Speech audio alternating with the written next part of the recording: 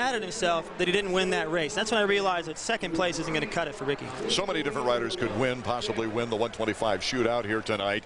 I think it's a, a trend in recent years, in fact, I know it is, the last three years anyway, that a non-champion from his division won the shootout. That could happen again. James Stewart's on deck to uh, to make that tradition continue. And you know, James is unbelievable. He, he's as fast as the 250s a lot of times, but he crashed a lot, and that allowed Travis Preston right there to scoop up that title from him. And Chad Reed was just about flawless in the East Coast. And you know, a lot of people are looking at he and and uh, Stewart as the favorites here, with with Chad being a little bit more steady, but you know, Preston likes it that way. He doesn't want all that attention, so if those guys blow it, Preston might land in the spot he's been landing in all year. Let's meet the rest of our uh, television crew. Let's start with Terry Boyd. Well, I'll tell you what, Art and David, it's going to be an awesome night down here in Las Vegas. One thing that we haven't had to deal with all season long is a little bit of mud, except for last week in Salt Lake. It's a little bit slick down here tonight, guys, and I think that's going to, well, maybe tell the story.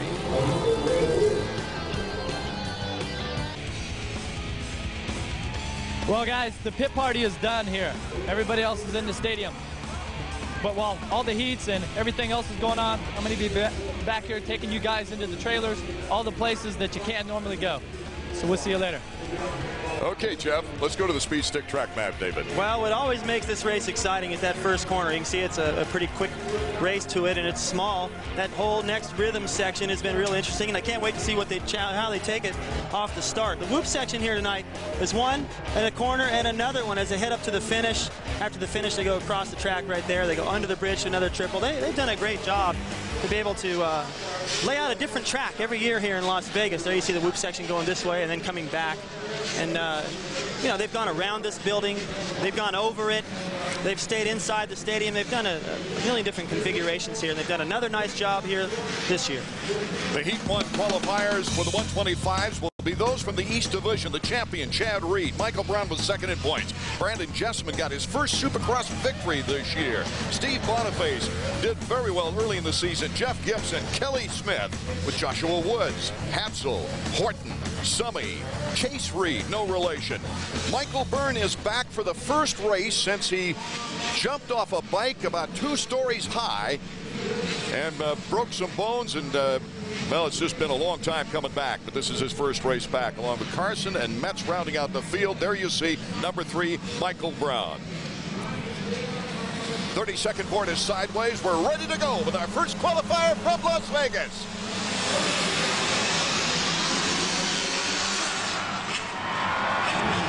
Jesseman on the Suzuki.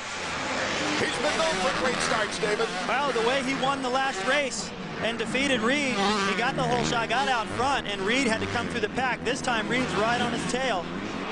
Reed is no longer 103, as you see there, because he has taken the championship in his division in the East. Reed is right behind him. Can he take advantage of him on that four-stroke out of second place on this very slick Las Vegas track?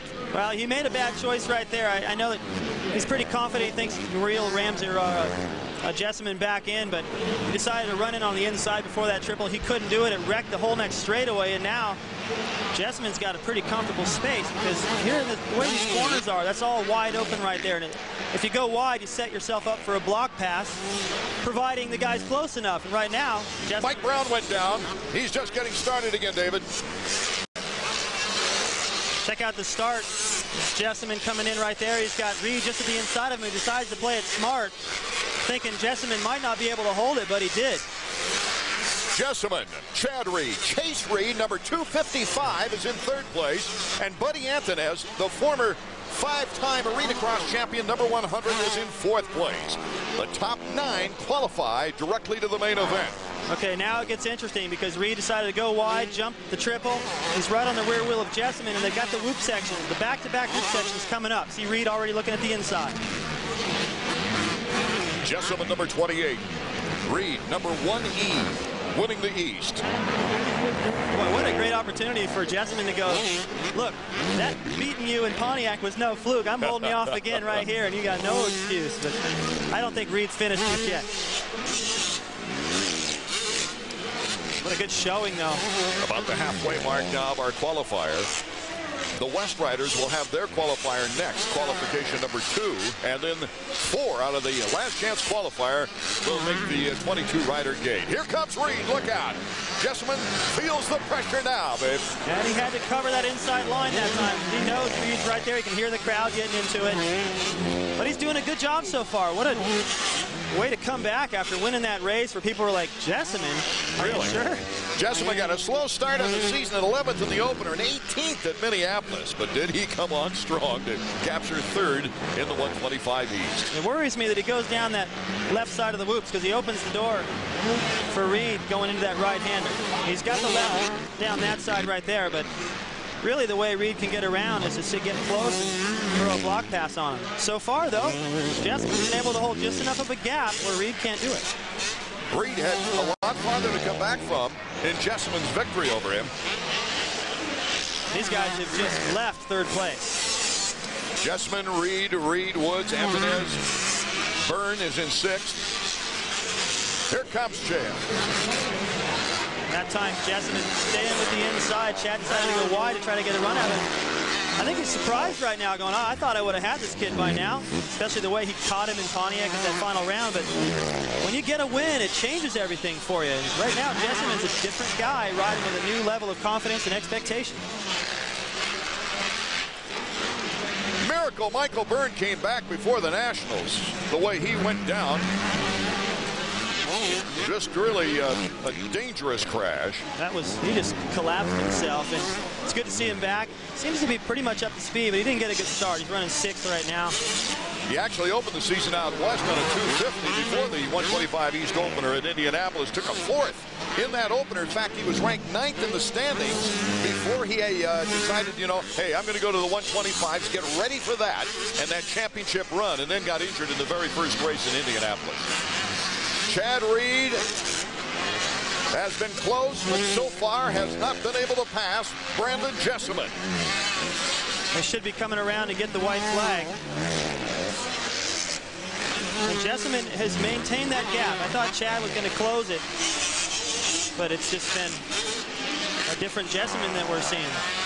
And it could be that Chad's riding a little tense, too. There he goes. Chad Reed to the inside. They rub a little plastic. Chad Reed takes the lead. White flag is out. We're on the final lap. Reed has shown us so much good strategy this year. His wins in the main event have come from all kinds of circumstance. Well, and it looks like maybe right there he just decided, oh, I'm just going to check this kid out, make sure I don't make any mistakes. The track's been regroomed a little bit. You see the mud on his front number plate. They've watered it in some spots. That's what we've talked about so many times on Chad, how he's smart and he takes his time right down here to the inside of Jesseman. Jesseman's thinking, whoa, where did that guy come from? And that's what Chad does to you. He surprises you. Surprised me. I, I had no idea he was going to be able to make that move quite like that. He just snuck in there. Doesn't look like Jesseman's going to be able to get back after him. Now Chad has picked it up a little bit. That last lap of 55.4, and the best lap by Jesseman was a 56.4. So Chad stepped it up when he needed to. His dream was to come to America, and right now he takes the checkered flag, the winner of our first qualifier. Jesseman Woods in the last chance qualifier now coming around. Hatzel in eighth, Smith in ninth, and Brown coming back to 10th. Well, that's not. Will it be, be Smith, though, number 34? That's going to ruin the start for Brown for the main event. Brown's in front of Smith now.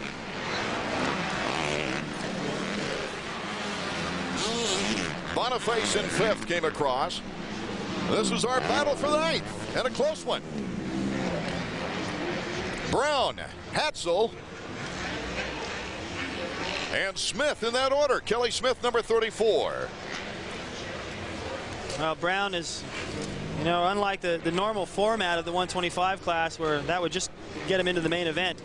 It Here. was uh, Summy that has to go on to the last chance qualifier. He was the guy on the bubble behind Smith. Number 35 is Byrne, and uh, he will have to go to the last chance qualifier. That just with the start the way it is here in Vegas, you need to be on the inside. That's a lot like what it was for the U.S. Open, the same configuration here. So Reed is off to a great start gets to start where he wants. Check out the Honda results page. Chad Reed, takes another qualifier. He was known from uh, winning qualifiers, though, during the regular season. Jesseman in second, Woods, Antunez Boniface, Chase Reed, Mike Brown in seventh, Hatzel, and Kelly Smith, the final qualifier out of uh, this first heat. Let's go to Jamie Little now, who's uh, made her way to the victory podium. She's with Chad Reed. Las Vegas, say hello to Chad Reed.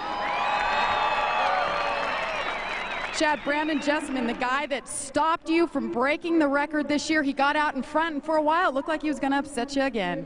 Yeah, I seen Brandon and uh, it definitely brought thoughts back to Pontiac and can't let this guy win again. He stole my win stop, but you know he was riding really good. The track's quite tough this tonight, so really wet. So I think the main's gonna be a lot of fun. That was a nice pass. You kind of put him up there on the side. Tell us about it. Uh, I was not so fast in the woods, and I just got really mad at myself and said I just got to go for it. And uh, I had a good line there, and you know I think tonight you're going to need a really good start. This track's tight and really tough to watch, and I think that you guys are going to see some bar banging, but. Uh, it's going to be interesting. It's going to be exciting. If it's anything like that race, it's going to be a good main event. Yeah, I'm looking forward to it, Jamie. I just want to thank the crowd for uh, cheering me on. I really can hear that, and uh, have a good night. All right, that's heat one. Who's on the line for heat number two? 93.5 on your FM dial. Let's go to Terry Boyd now, who's with Michael Byrne. I'm interested in hearing what Michael has to say, Terry. Michael, how you feeling coming back after the injury? It's been a little while since you've been on the bike. Yeah, yeah, it's definitely been a little while since I've been on the bike, and uh, I was going through the pack then, you know, pretty nice, and uh, my throttle actually got stuck open then on a triple over the back, and I landed and went over the bars, and I couldn't couldn't finish the race because it was stuck on. So, you know, hopefully I can try and get rid of this bad luck here sooner or later, and uh, get back out there for the uh, last chance and stuff. Well, best of luck. Hopefully we'll see you a little bit later on tonight. Michael Byrne. All right, Davey. Michael Byrne, a great friend of Chad Reed both from Australia, as you could probably tell from his accent. Let's check out the West 125 qualifying heat number two now. The champion, Travis Preston. Three wins on the year for James Stewart. Third place in points, Ivan Tedesco. Gosselaar could win this whole bag of goodies here tonight. He had two second place finishes this year, three podiums.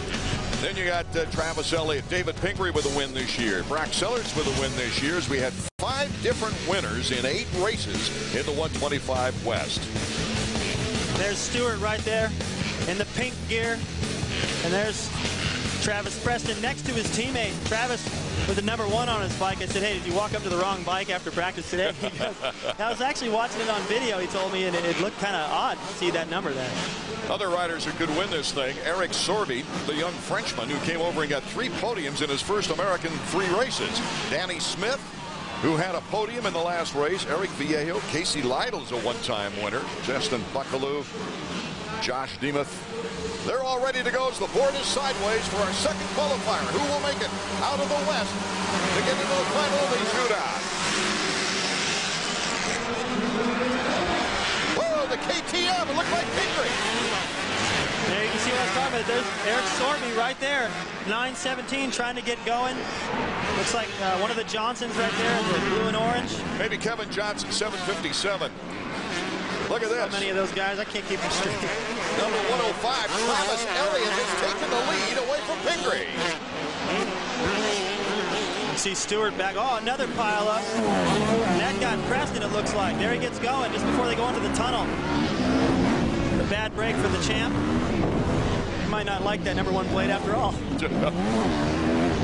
He's still got a chance to get in the top nine, however, crashing this soon in the qualifying round.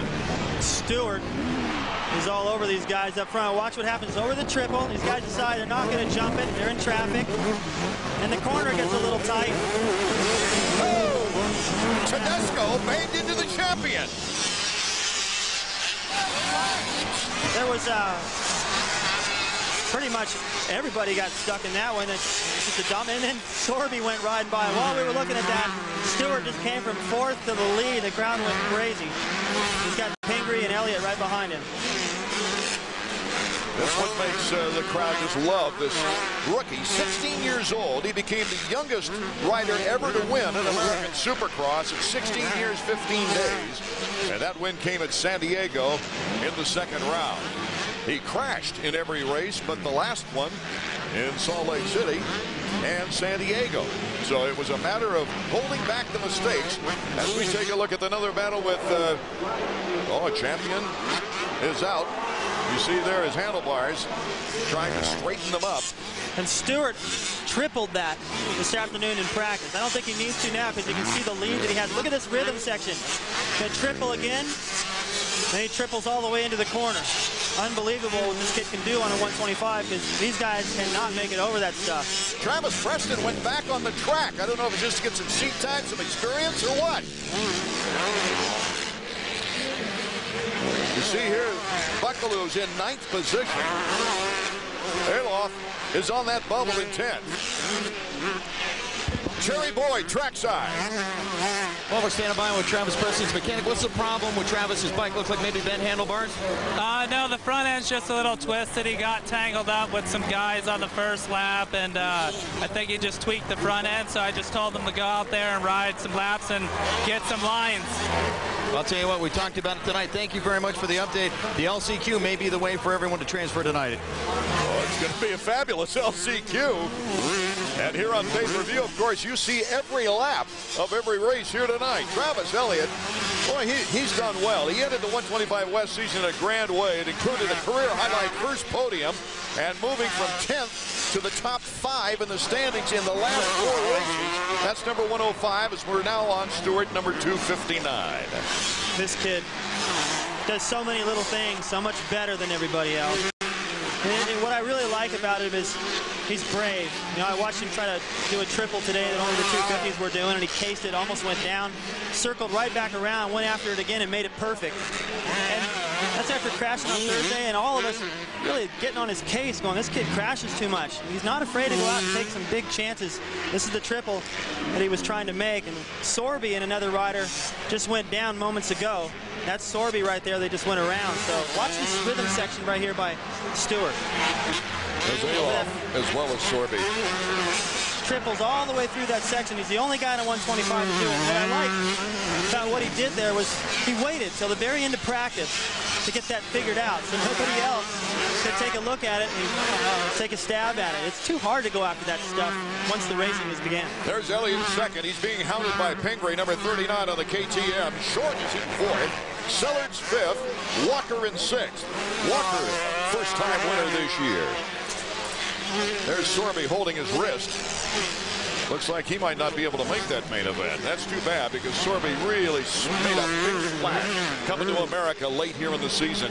With all those injuries that Mitch Payton had to the Pro Circuit Kawasaki team, Sorby filled a big void for them.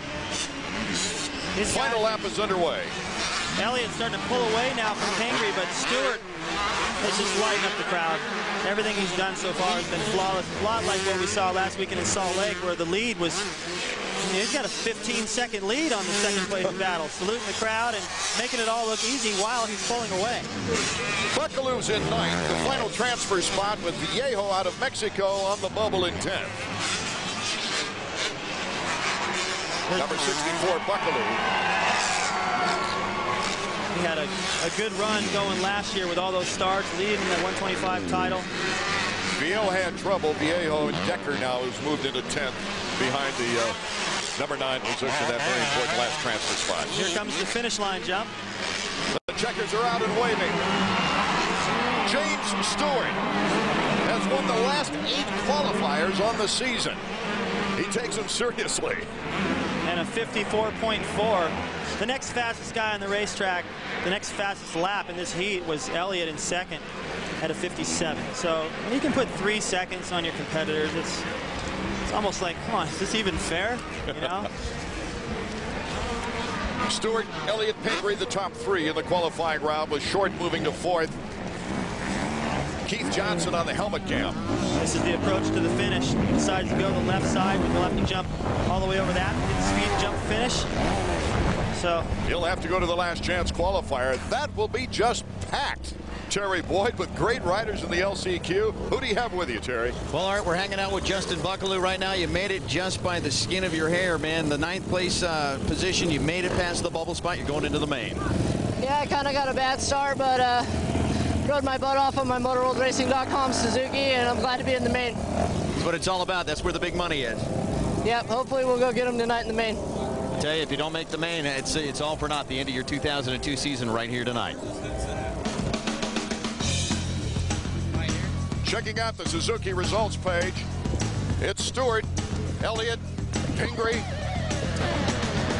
Short, Sellards, Smith, Gosselaar, Buckelew, and Decker will have to go on to the L's. Let's go to uh, Jamie Little now, who's uh, on the podium. The MGM Grand Friday, May 10th. ZZ Top, May 11th at the Aladdin.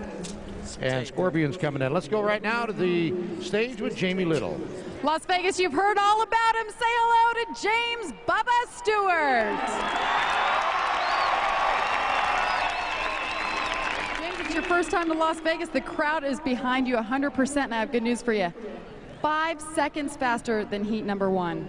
Yeah, I mean, definitely. Uh, my Kawasaki got me a pretty decent start. I mean, kind of got pinched off out there, but uh, made it through the pack pretty clean, and uh, I'm telling you, I mean, I'm feeling good. Hey, you don't have the number one play tonight, but I know and everybody else knows you are very capable of winning tonight. What would it mean to you to take home the bragging rights? Definitely a lot. I mean, I don't, like you said, I didn't win the 125 Championship, but uh, it didn't mean a lot to me to take home, and I'm going to try my best, too. All right, we'll see you in the main. Thanks. All right, who's on the line for the 250s? Well, I'll tell you, we're going to double or maybe triple. And joining us here for our tremendous broadcast location at Sam Boyd Stadium here in Las Vegas is the president of American Suzuki, Mel Harris. Mel, welcome. Uh, how do you like our plush digs up here? Huh? Hey, this is pretty nice, right up here on the top, rooftop vin. Mel, uh, American Suzuki hasn't had the best of times as far as the 250s are concerned. You had two of the, the greatest riders on your team, Kevin Windham, and then all of a sudden uh, Travis uh, Pastrana. And uh, one of the most exciting, that is for sure, to watch on a track, and all of a sudden they come up injured, and you don't have any riders on the on the Sobe team. You know, that's really a, you know, a hard thing to, to swallow this year. You went out, we worked very hard, came up with a real big name sponsor in Sobe Beverages, a division of Pepsi-Cola, had two riders that we had all the great hopes for. They went out, as you saw, Art, in a couple races, and they were leading and doing things, and the crowd was gone nuts, and all of a sudden, here we are, six races into the season. We have no one out there on a machine for us. But you know what, what I like about what you guys have over there, even if they're missing sometimes, is is when they are out there and they are healthy, both of them can win. Travis can win on a 125. He can win outdoors, indoors, in the mud. He can win anywhere. So you got to be excited about having that kind of talent. Yeah, we really are excited about that. In fact, we wanted to change the rules this year and see if we could go to two 10-lap finals, and I think we would have won about three or four of the first ones. So anything to help. Mel, thanks for dropping by. We've got to go down to Jeff Emig trackside. Jeff, or are you back in the pits? Yeah. Yeah, hey, I'm here with uh, Travis Preston. You went down in that heat race. What happened? Uh, I got like a so-so start, It was mid-pack, and uh, went over the first triple, came into a right-hander, and uh, these three little jumps, and there was like five guys, and the inside guy hit that guy, and there was just a chain reaction, and they all hit me and went down. All right, but well, the best luck in the main. Thanks a lot. So the 250s now out on the track. Let's check out the lineup. David Vuillemin, who was second in points. Jeremy McGrath, 10 years, has been on the podium in all 10 years of his 250 career. Nathan Ramsey, Ernesto Fonseca, Damon Huffman, Kyle Lewis, Sebastian Ward, Darcy Lang, Pavoni, Morgan, Isaiah Johnson, Metz, Tyler Evans, Mason, Lindstrom, Blair, Terlecki, Campbell, Israel, and Dudek all vying here in the opening qualifier of 250 action. See Vuillemin right there playing with that clutch. He's the most fidgety guy I've seen on the starting line. Last week in the Salt Lake, he got an incredible hole shot in his heat race, and he was fiddling with that clutch to the very last second. Bud Light machine, the Yamaha, Jeremy McGrath. Getting ready here at the start line. It's sideways. We're set to go for our first 250 qualifier. Whoa! Great start by the 23 Honda, and Jeremy McGrath is out in front. That's what I was talking about, about riders getting shoved over the outside of the first corner. The main event, I think that's Scott going to be Metz. worse. Yeah, Scott Metz, number 150. Whoa. Darcy Lang, number 303 back there in the orange, getting off sideways. So the track is starting to get slick, and loose soil on the top seems like it's getting shoved around a little bit, but underneath, it's really hard packed and slippery. Kyle Lewis with a great start. The privateer on the Moto XXX. DGY Yamaha machine. He got a whole shot in the main event this year worth $1,500. Kyle Lewis right there running the four stroke. Staying pretty close to MC in the opening lap here. Flash bulbs going off everywhere, and Jeremy's got the start he needs to get out front and try to get a rhythm established because in the practice session this afternoon, I was thinking, man, if he rides like that, it's going to be tough to get on the podium or possibly in the top five. But Jeremy understands. He's raced for so long how the track is going to change throughout the night. We've had quite a, a front blow through here a lot of wind, and that's going to change the conditions somewhat. Joining us here in the first qualifying heat is Chad Reed. Chad is coming off the track after some pretty good strategy himself as he takes a look at Jeremy McGrath. Of course, one of your heroes when you were growing up in Australia, watching tapes of this guy. Feels like, um, you know, old times, just sitting here watching on television and watching Jeremy. Jeremy looks a lot like you. As No, I I watch think. I think I look more like him. I, uh, I was trying to switch it around for you. Yeah, it's. I'll tell you what. You guys are. If you switch riding gear, you can fool some people. You know. You know, Jeremy ri- rides really good. I've uh, I've watched him for a long time now, and uh, I love watching him still at the Yamaha track, and he's uh, definitely cool to watch. Yeah, he's starting to get that rhythm section figured out. He had a tough time getting through there. There goes Fonseca. Chad, is this track going to change much? I believe it is. It's um, when I was out there, it was uh, it was hard underneath and kind of. I guess some mud on top, and it was. Uh, I just sat in behind uh, and I was getting a lot of dirt. Yeah, you know, you did an excellent job of kind of disguising your intentions there. I thought you were just going to hang back and maybe he wasn't going to see a move, and all of a sudden, bam, through the whoop section, you just snuck up on him, surprised him. It surprised me a little bit. Did you have that planned, or did it just work out? No, it just worked out that way. I um, I was kind of getting frustrated myself. I was, I didn't really have any good lines, and I was just trying to find some lines, and uh, just went for it in the whoops, and it worked. And and uh, you know, I can't give Jesseman any more confidence than he's already got. That's true. A good battle going on for second place. Lewis, number 23, and it's Fonseca, number 24, both on Hondas. Fonseca with Team Honda, however. Ramsey has moved up behind Fonseca. Remember, here in the qualifying round, the top four only 250s qualify directly to the main event. Fonseca tripled his way all the way through that rhythm section to make the move. But then he leaves the door open right there. So he gets him back, but wasn't the smartest move to go wide. I think he thought he had more of a lead on Lewis than he did. Vuillemin is all the way back in sixth. He might have to go to the semifinal round, where the top five would graduate to the main event. Well, you know, so much of what happens here in Vegas depends on the start. The first 50 yards of this race can decide the whole thing. It's a little bit tougher to come from behind, I think, on this hard, slick surface where everyone's trying to be a little bit more careful on the throttle than it is some of the East Coast races where you've got a lot of ruts, different lines. Fonseca rides well on this surface.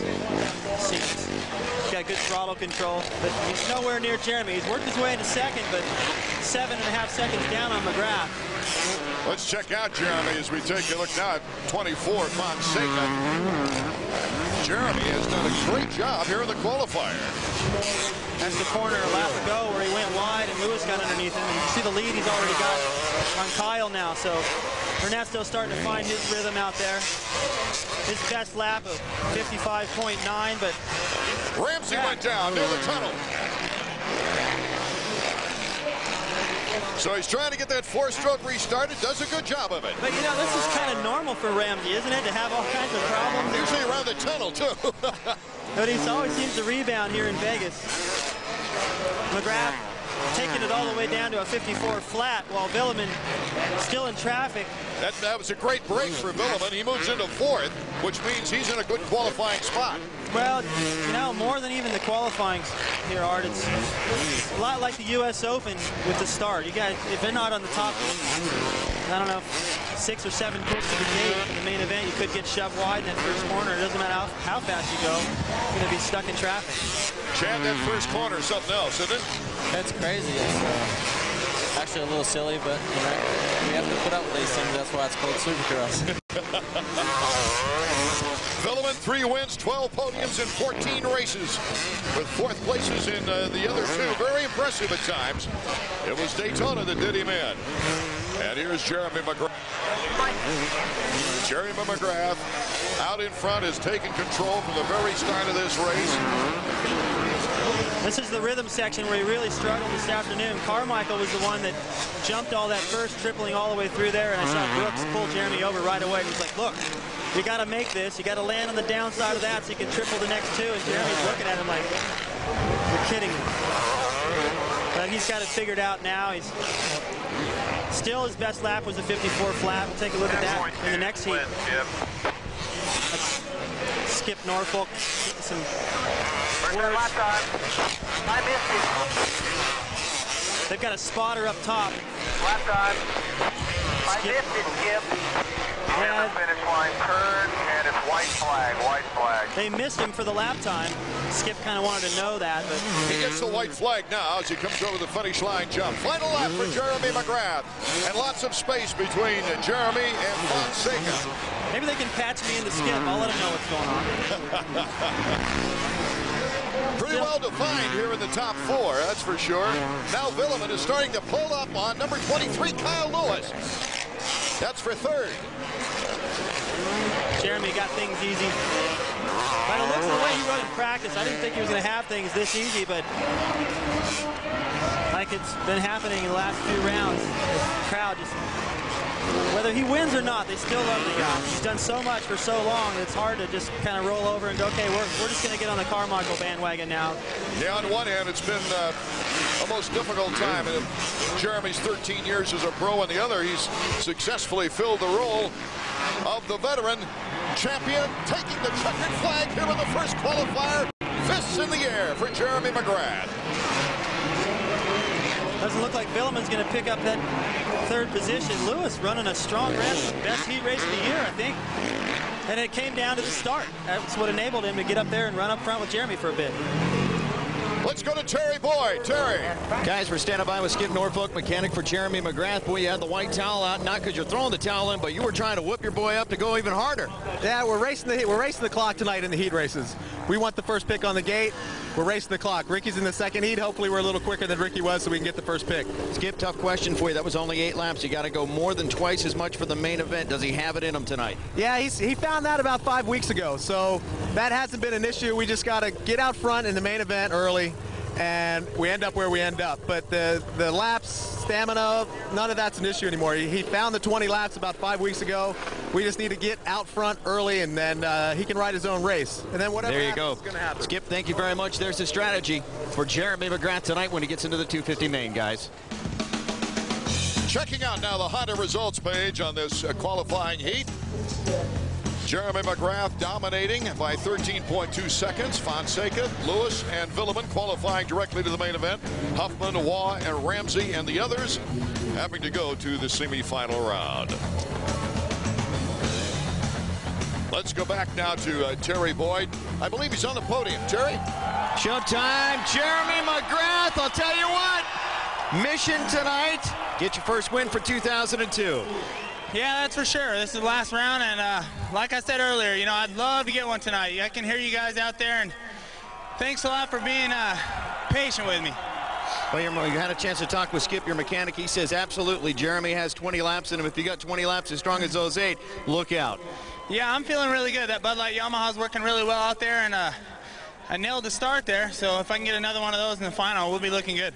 A couple of sections out there that you have to tie together. I know you were looking at them early. David Bailey actually pointed them out. Some of them are a little scary looking. Yeah, this rhythm section over here, if you don't make it right, it's a big penalty. So, uh, you know, we didn't get much practice on it, so it's kind of tricky out there. And uh, if you don't do it right, it could be consequences. Best of luck tonight, Jeremy. He has seven titles. It didn't come easy. That's what it's all about, guys. Art, David. Thank you so much, Terry. As we check out the lineups now for our second qualifier. First of all, the champion, Ricky Carmichael.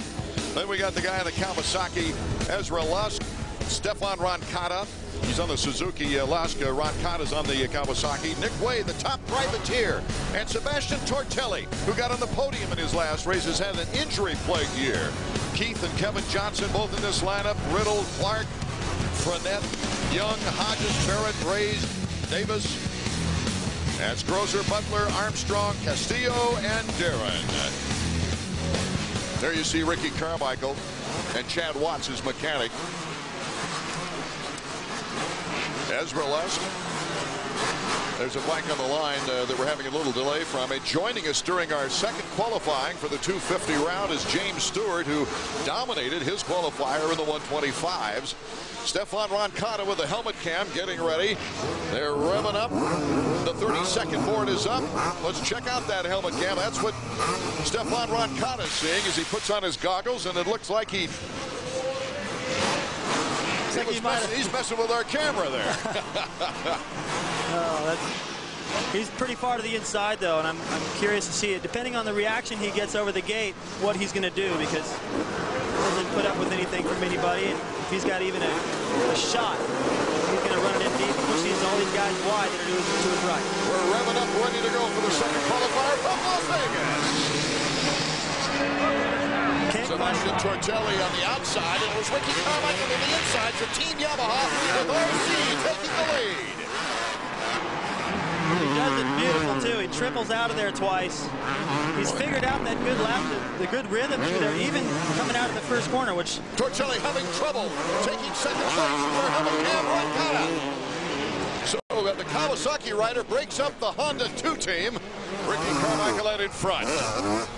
There he's got Carmichael right in front of him off to the left as they go over the jump.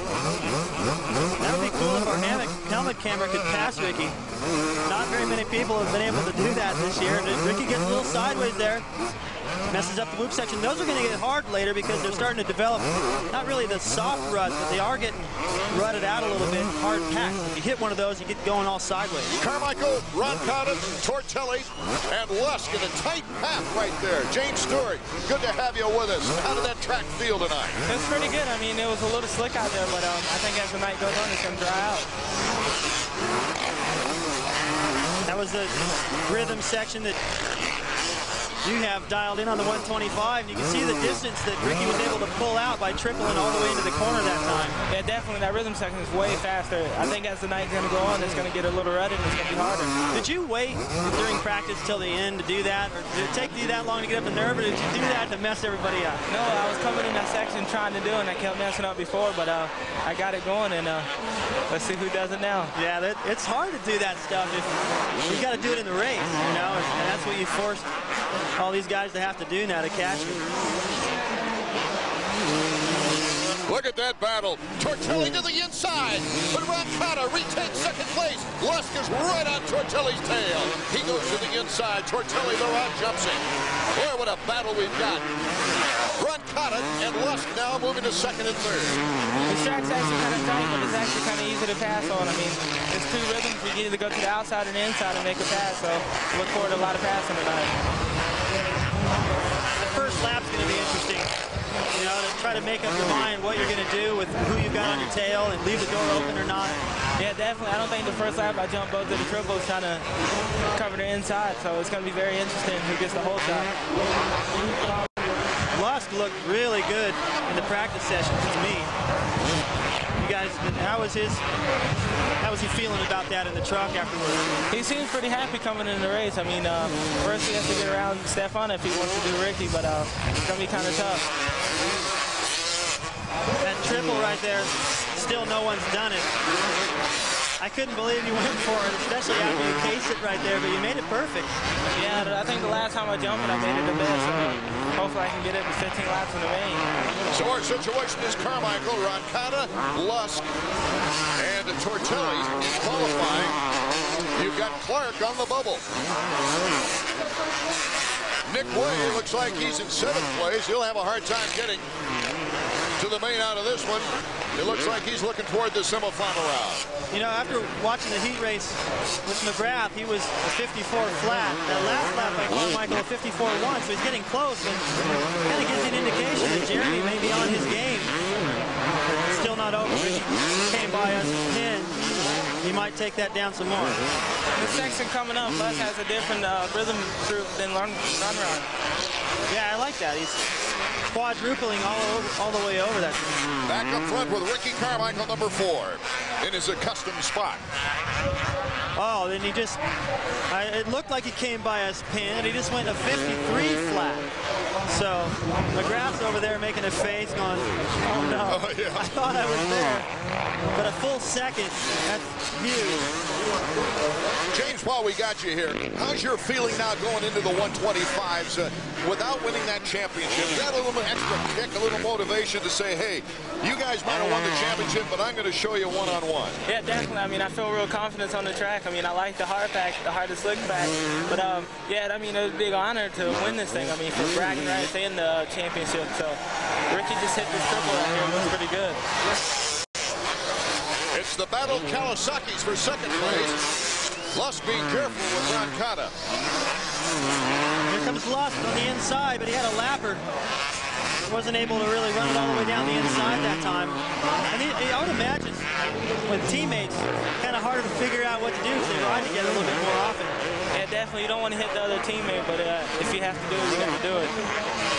Because I had the hardest time trying to pass Johnny O'Mara because he knew what I was thinking. You know, he could always cover it.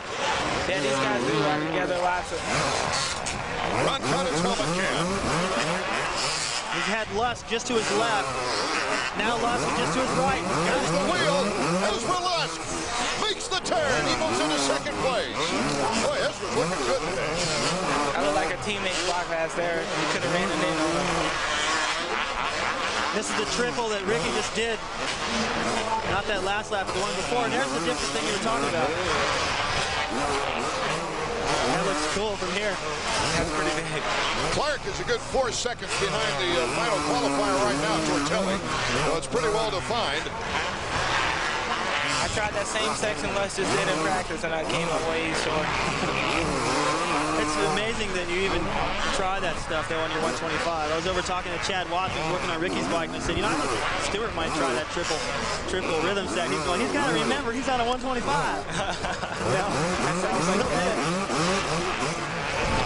can see a lot of hard slick part on the track, it's going to get real slick as the night goes on. It's getting real slick now, so it's going to it's going to change the race tonight. Castillo, a good friend of many of these riders, is now off the track. He'll head directly to the semis on the white flag final lap. Are you going to change your tire on the main event and go down to the hard pack or is that what already ran? Uh, I think I'm on the hard pack now. I mean, the track was, in practice, the track was real dry, so it, it worked in practice, so we're going to see it in the main. You notice these fans, they're not standing, they're not sitting down. They're all standing up for the entire race. This is my first time in Vegas, and I like it here.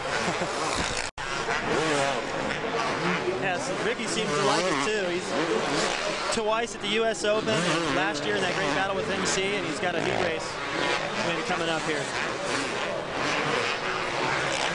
Definitely, Ricky looks like he's on this game tonight. Took him a while to get that figured out. This will mean his 12th qualifying heat race out of a total of 16 races this year. The checkers for Ricky Carmichael. Roncada will be coming in on third after Ezra Lusk. He's the last transfer spot going to number 13 on the team Honda, Sebastian Tortelli. James, thanks for joining us. It was good to get your insight We're right off the track. Thank you. Good luck in the main. James Stewart joining us as Ricky Carmichael goes up to the podium to take his helmet off. They want you back on, James. I hope they got filters on those cameras because this gear is pretty bright.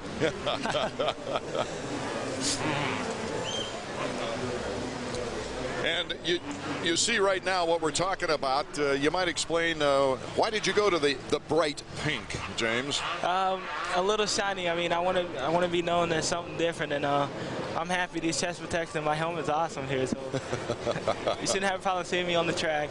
No problem at all. He's usually out front anyway. Camera guy has a hard time figuring out where you are because your leads for the past couple of weeks have been just you've checked out so quick.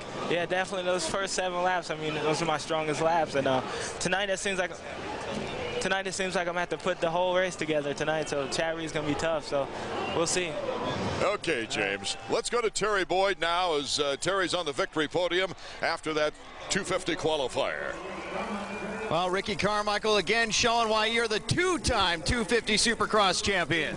I tell you, Terry, thanks a lot. You know, the bike's working awesome. The track is really good tonight. It's technical, and uh, man, you guys got to be loving it. Uh, it's going to be a good race between me and Jeremy.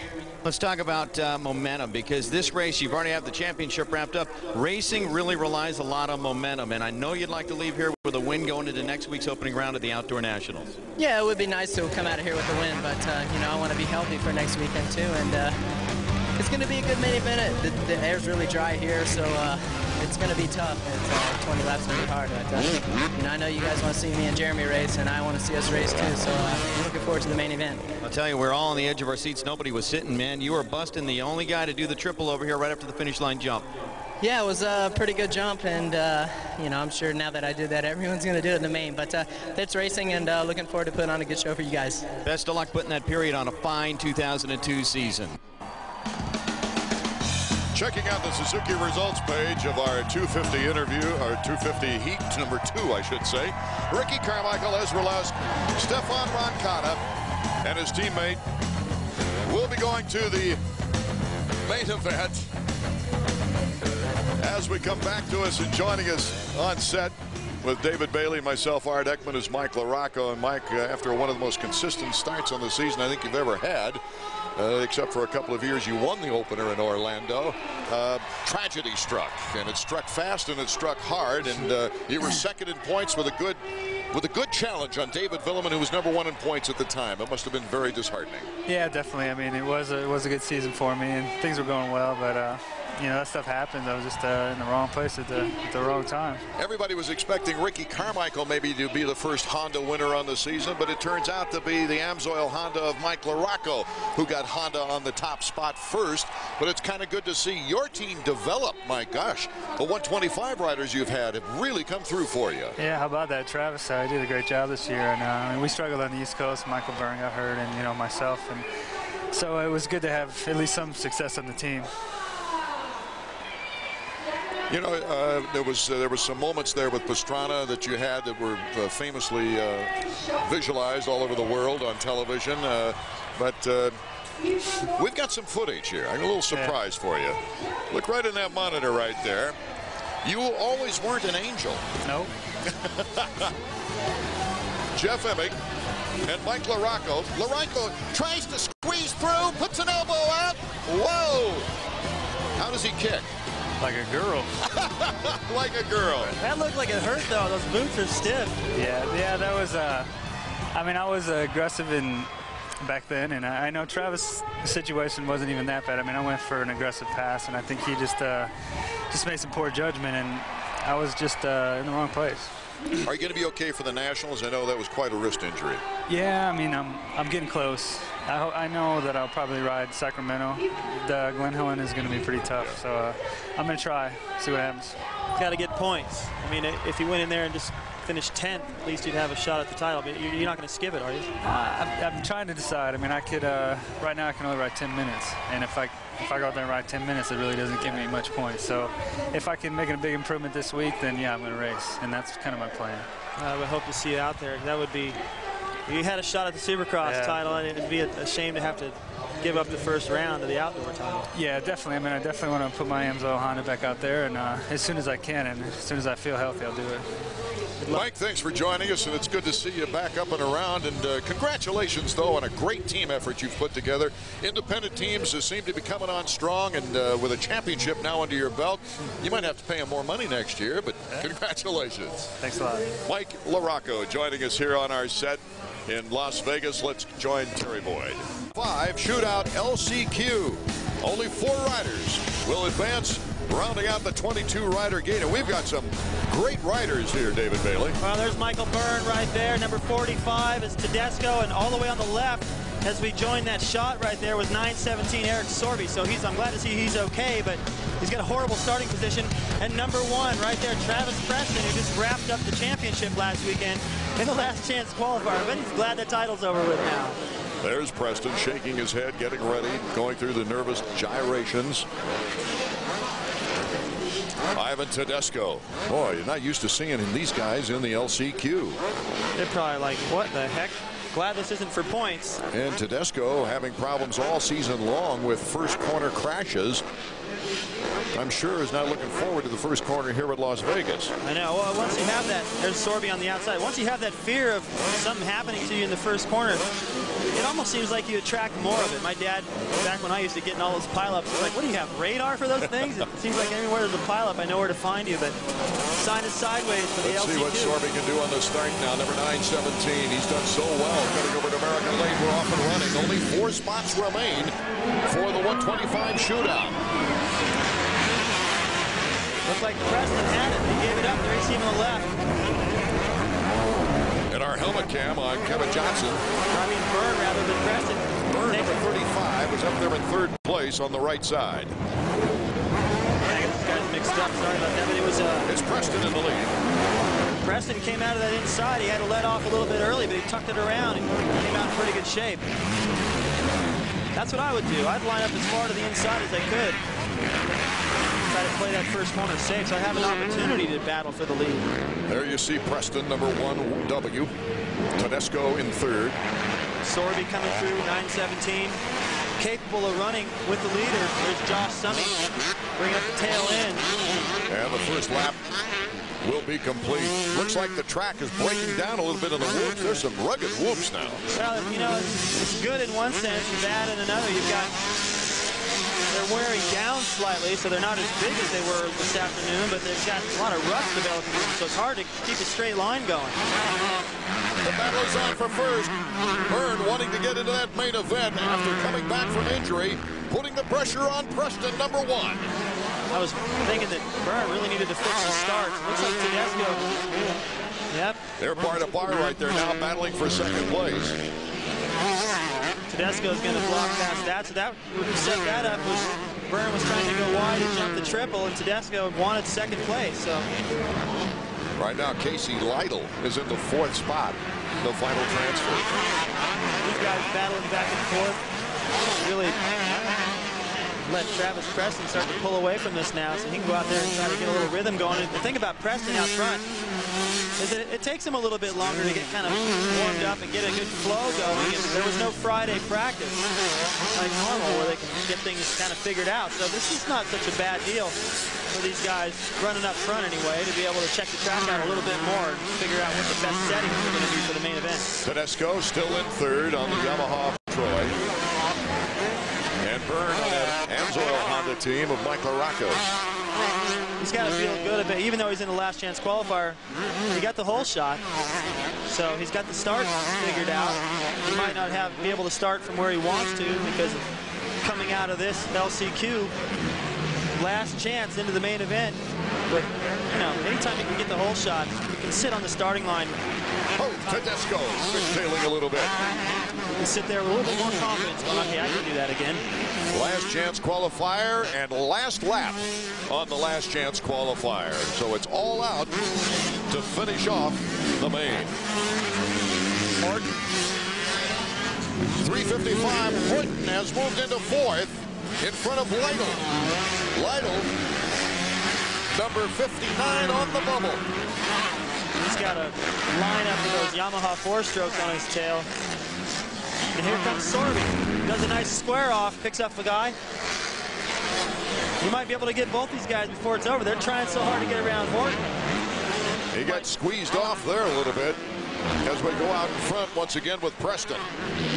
Wouldn't that have been something if the champion of one region didn't make the final event in the 125 shootout? Almost happened to Ramsey once, but he came through. Oh, Ramsey was in the last chance qualifiers. The checkers fly for Preston.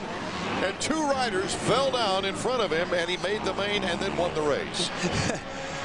Final transfer. Look at that move by Lytle. Number 59 on Horton. Oh, Casey Lytle, a one-time winner in his career in 125s. Just barely gets into the main event with a great move. Cracks, there goes Sorby on the left. He's not happy with the way things just turned out. And You saw Terry Boyd running up to number 59, Casey Lytle there, and there's Preston going toward the uh, podium. Oh, I bet he's relieved. You know, he, every time he crosses the finish line when he wins the race, he's looking around like, is that it? Is that the checker? Did I win?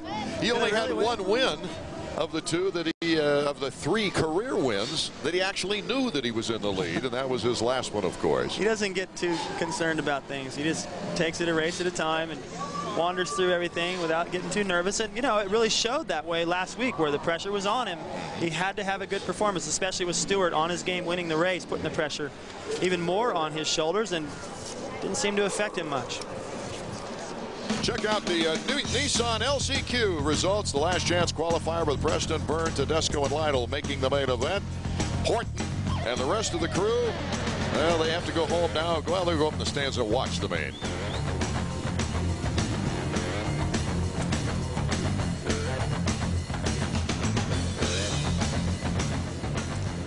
Terrific crowd. Always a sellout here in Las Vegas for the final round. And the 125 shootout this year, boy, if, if qualifying is any indication, David, we're going to have one heck of a main event. It's going to be wild. And, you know, you can see the confidence on the faces of Reed and Stewart when they were here. I was looking at them and watching Yeah. how they were acting and what they were looking at, watching those 250 heats. And those guys are very focused. Ramsey's the only two-time winner of the 125 shootout.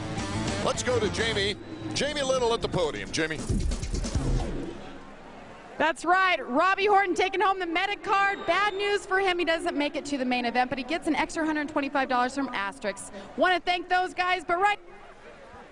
Say hello to your 125 West Coast champ, Travis Preston.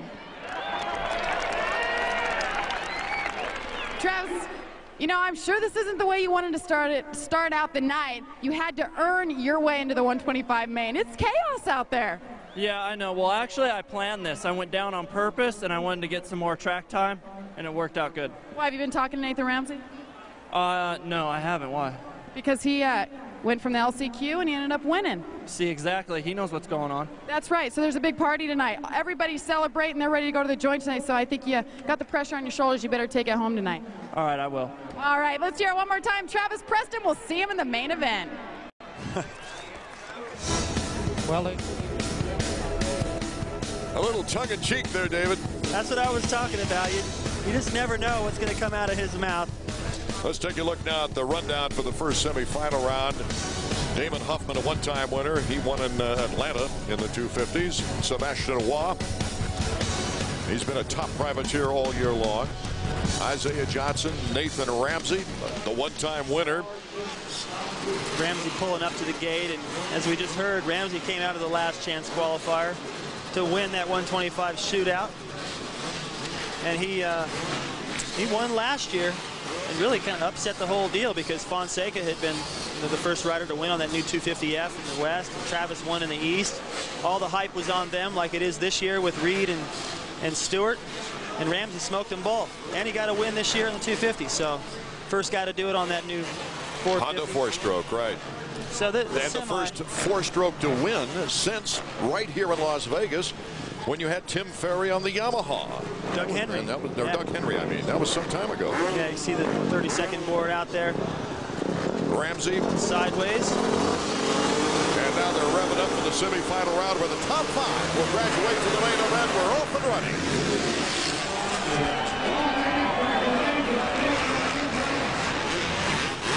Looked like Huffman. It did, number 20 on the Suzuki.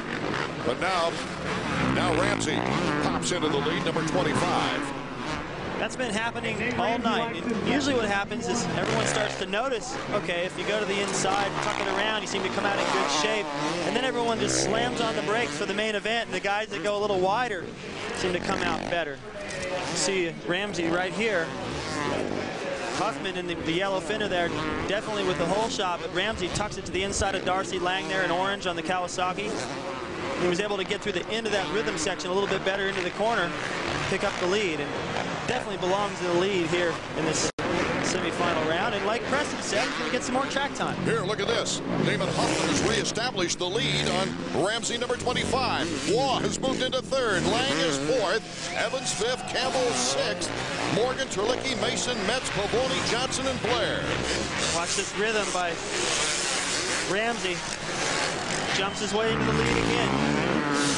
Nathan Ramsey, you know, if it hadn't been for a couple of 17th place finishes and having to sit out one race with an injury, Nathan would be having a great rookie season on the 250s. maybe in that battle for third. Check it out again. This was Nathan getting block pass at the end of the whoop section in that opening lap. Kind of getting caught by surprise a little bit there by Huffman, who's been around for, seems like, so long with enough skill to get up and lead these races. And A great 125 champion, David. how about the time he came over this building? You saw that. I missed it. Yeah, you came off the building. At that time, they were racing up over the building that we're sitting on and uh, would jump off of it. And I think it was Trittler, a, a three, three-digit uh, rider named Trittler, was right behind him. Huffman had leaped off the building. Trittler did a somersault in midair, came down and straddled the back fender of Huffman with his arms around him like, uh, like he was hitching a ride. He had to actually tap Huffman on the shoulder to let him off. It was rather bizarre. Somebody got that on video videotape. That's a that's gold. I don't think I, they haven't found it. That was several years ago. Huffman one win in Atlanta, and wouldn't it be his luck? Number 20, the Suzuki we're talking about. He breaks his leg in Atlanta the next week after Atlanta. That really threw a wrench in his whole deal because he had a good head of steam going. And remember the battle he had with Jeremy McGrath. The year Jeremy was just about ran the table at 96 up in Seattle. He took it to Jeremy all the way up to the very end and finally made a little mistake and Jeremy hung on, kept his streak alive. But Huffman's experience in Supercross and his smoothness has been so consistent. Oh, that was an exciting race in Seattle. As Jeremy McGrath was putting that string of wins together, and, and Huffman all of a sudden was really challenging him big time. Huffman has won here before. He's won one 125 race. Ramsey has won two 125 races here. So the two guys out in front are rather experienced on this soil, this hard pack. I don't know if we'll be able to see it in any of these shots, but Ramsey's seat actually is like two levels, right behind where he sits when he sits forward for a corner. It goes up a little ways. He was talking to Honda guys going, man, I can't hang on to this. I can't stay forward on it. So as a joke, they made the seat. It actually raises up about an inch right behind the sweet spot, right there in the pocket where you want to sit, corners. And he liked it. That was the week at Pontiac, and he won that race, and he's been using it ever since. Ramsey coming across the lapper right now in the last transfer spot, as you see right there, is Evans. You know, I'm impressed with Evans, Art, because you he searched for an identity. It was here that I really began noticing him on a 125. It was a few years back, put in a strong ride, and then kind of went off to the freestyle thing and changed his look a little bit, got a little bit of ink, crazy hairdo, and, and uh, became kind of a bad boy in the, in the freestyle deal. But he's come back. He's very professional. And Started out with the Suzuki, and then when Steve Lamson went down with injury, the Husqvarna gave him a factory ride, but he's had a really difficult time with injuries and changing bikes, uh, qualifying for eight main events this year. His best finish, the 14th in Minneapolis. he's had a, a tough time with a low back deal. I, I was watching him get dressed, put his jersey on at New Orleans. What the heck is going on with his back? He rode Minneapolis, where he got 14th, his best of the year, with a broken collarbone. Yeah, he's tough. And he's, he's putting up with, you know, some of the growing pain, pains of Husqvarna trying to get back into the mix of having a competitive motorcycle out there. Of course, Lamson doing a lot of the legwork on that, but he doesn't complain. He doesn't complain about his injury. He hasn't complained about some of the problems they've had this season with the bike. It's crazy stuff. And, uh, know, you expect a guy like that that came from the freestyle thing where he wasn't afraid to say anything to really kind of bitch about it, but he hasn't. Ramsey with a 3.7 second lead on Huffman now is pulling away, and two seconds behind him is Jean-Sebastien Roy. We're looking at number 25, Nathan Ramsey on that four-stroke. Final lap, the checkers are waving for Ramsey, who takes the semifinal win. Puts him in the main event. Not with the best start, but he's got some power there that he can make up for that. He's been smart, though, coming from behind, from fifth and sixth place, if he can get a decent start. I like his resolve. You know, you get into a race, and you, we're looking at the battle up front. There goes uh, Tyler Evans off the track. He's made it into the main event. In fifth place, they only take five out of the semifinal, so he just squeaked by. Nathan Ramsey's right there. Let's go to Terry Boyd. Well, guys, I'll tell you, we're looking at Tyler Evans, kind of the freestyle motocross guy. The beginning of the year, everybody said, how serious is this guy? Well, you tell us. I'm very serious, you know. every week. I mean, I've been giving 110% every week. It's been getting better. So it sucks it's the last race, but oh well. There's next year too. So. I'll tell you what, a family guy riding the factory Husqvarna, and he's in the main event of the final round here in Las Vegas. Let's join another uh, mate of our telecast, Robbie Floyd. We caught up with him earlier. To graduate out of this second qualifying heat, let's check out the order of things. Ryan Clark, the top privateer, Nicholas Wey. He stands to make $25,000 for being the top privateer this year. The board is sideways. We're off and running.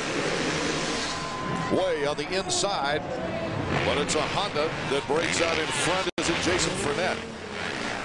A pile up in the back.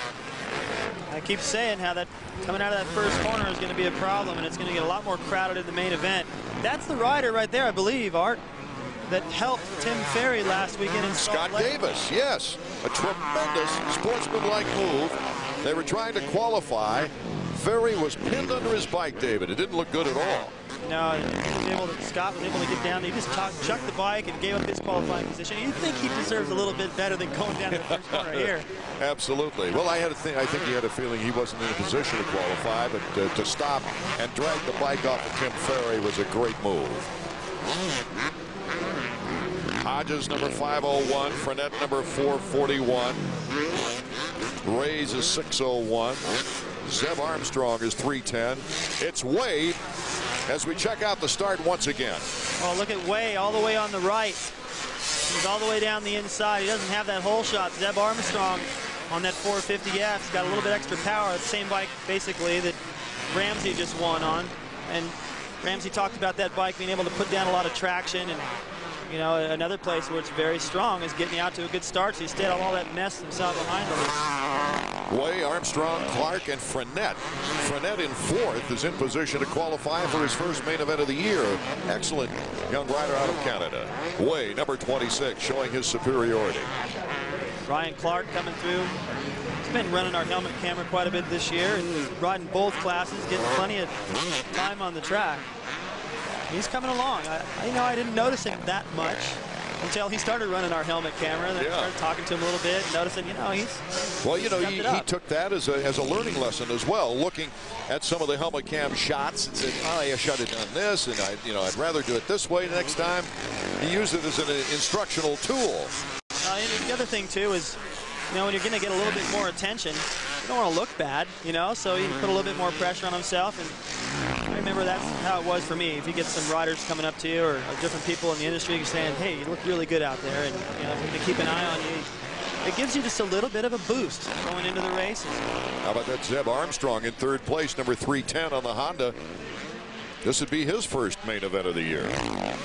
He's been riding a Yamaha, I think.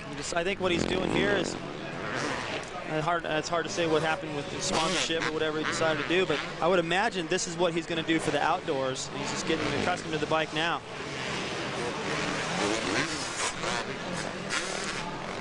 Battle is on right now with number 49 Johnson and Armstrong. And Johnson makes the move around him into third place. Right now, these guys are just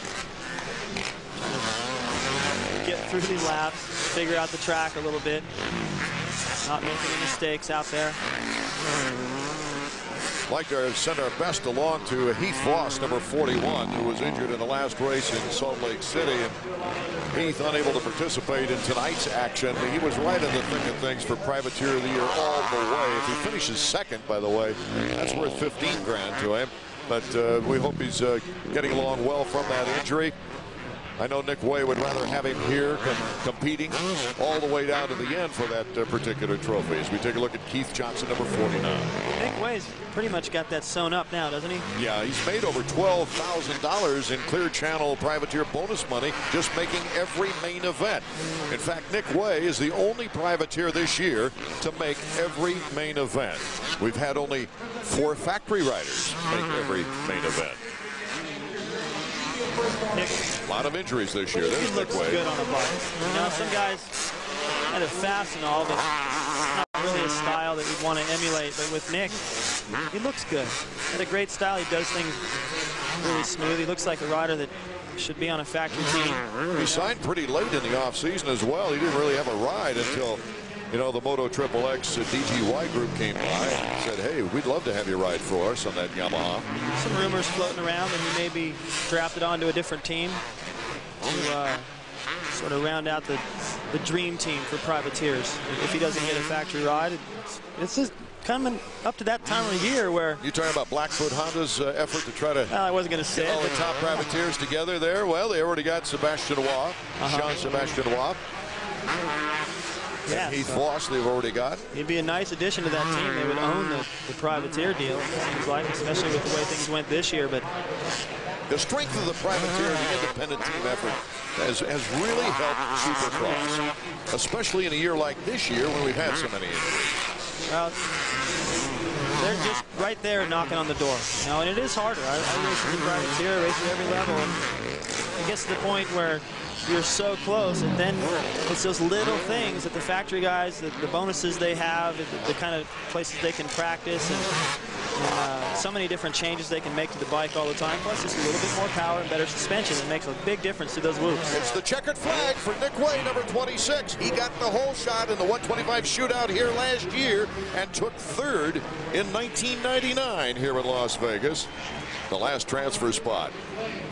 Zeb Armstrong was in fourth with Young in fifth on the bubble. There's Armstrong, number 310. And if he holds on to it against 782 Young, I think those guys are just pacing themselves a little bit, Art. They know he's pretty stoked right there, but they don't want to use too much energy. They've already had a heat race under their belt, and they still got the main.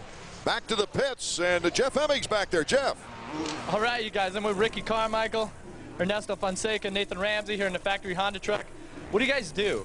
After the heat races, you watch yourself win the heat. What do you do then? Uh, we videos, you know, our, our truck drivers uh, video our heat race and, and other racers and uh, check out where, you know, what we're doing wrong and what we're doing right and uh, try to find out if there's anything better. Now, what's the real story? What do you got in your back here? Are you eating cookies, uh, checking out each other's uh, custom paint jobs on the helmets? No, nah, we, we're not eating cookies. That's after the race if we do good, but uh, we're nibbling on some uh, paper towels and stuff. You know, we can't eat that bad stuff. but uh, I tell you, it, uh, you know, we come back and just try to prepare for the main. That's that's the main goal. It's the main event. You look great tonight.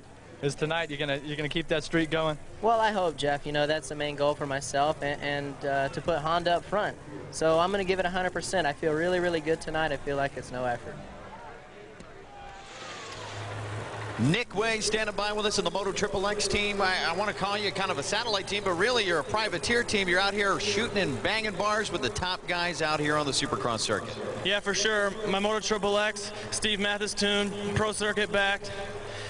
You know, my, my, bike was working excellent out there. I'm really pumped about the start and everything. I want to go out there and mix it up with the factory guys in the main. I couldn't do it without Tag, Smith, HJC, Maxima, CD, WBR, and DGY. You know, couldn't do it without those guys, but I'm coming out here against the big boys, and uh, I'm going to mix it up with them in the main for sure. Say one thing about you. You have a lot of integrity. There was a lot of rumors floating around that you had an opportunity to jump ship and go to a full factory ride. You said, listen, these guys are treating me well. I'm going to stick it out for the season. Yeah, Moto Triple X and my mechanic, Steve Matthes, have, you know, been behind me 100% the whole season, and that means a lot to me. Um, I'm coming out here trying to do the best I can, and you know, so is the team. And Kyle did well in the heat race, and uh, hopefully we can make our presence made in the in the main there, Moto Triple X. One last quick question: It was a little bit slimy, a little bit muddy early on. It's getting dusty down there. Yeah, it's getting a little bit slick here in the in the semi compared to the heat race, but you know, I had fun out there. Getting this rhythm section down here kind of didn't get so much practice, you know, no, no practice yesterday, but I'm getting it down a little bit that time, and, you know, I'm excited for the main. Well, best of luck. Look forward to seeing you in the main. Nick Wey.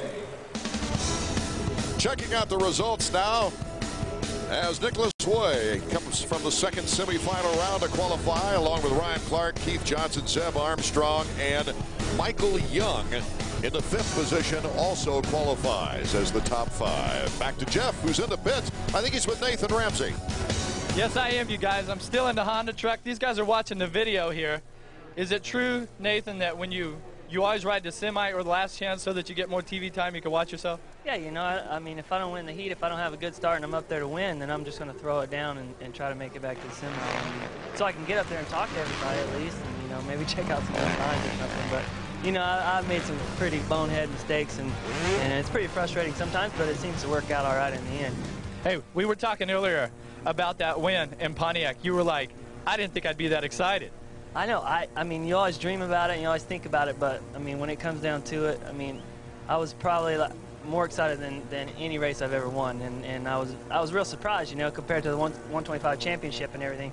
It just felt, I mean, unbelievable, and and I, I want to do it again. I want to feel that way again. Well, you, well, you got one chance here tonight in Las Vegas.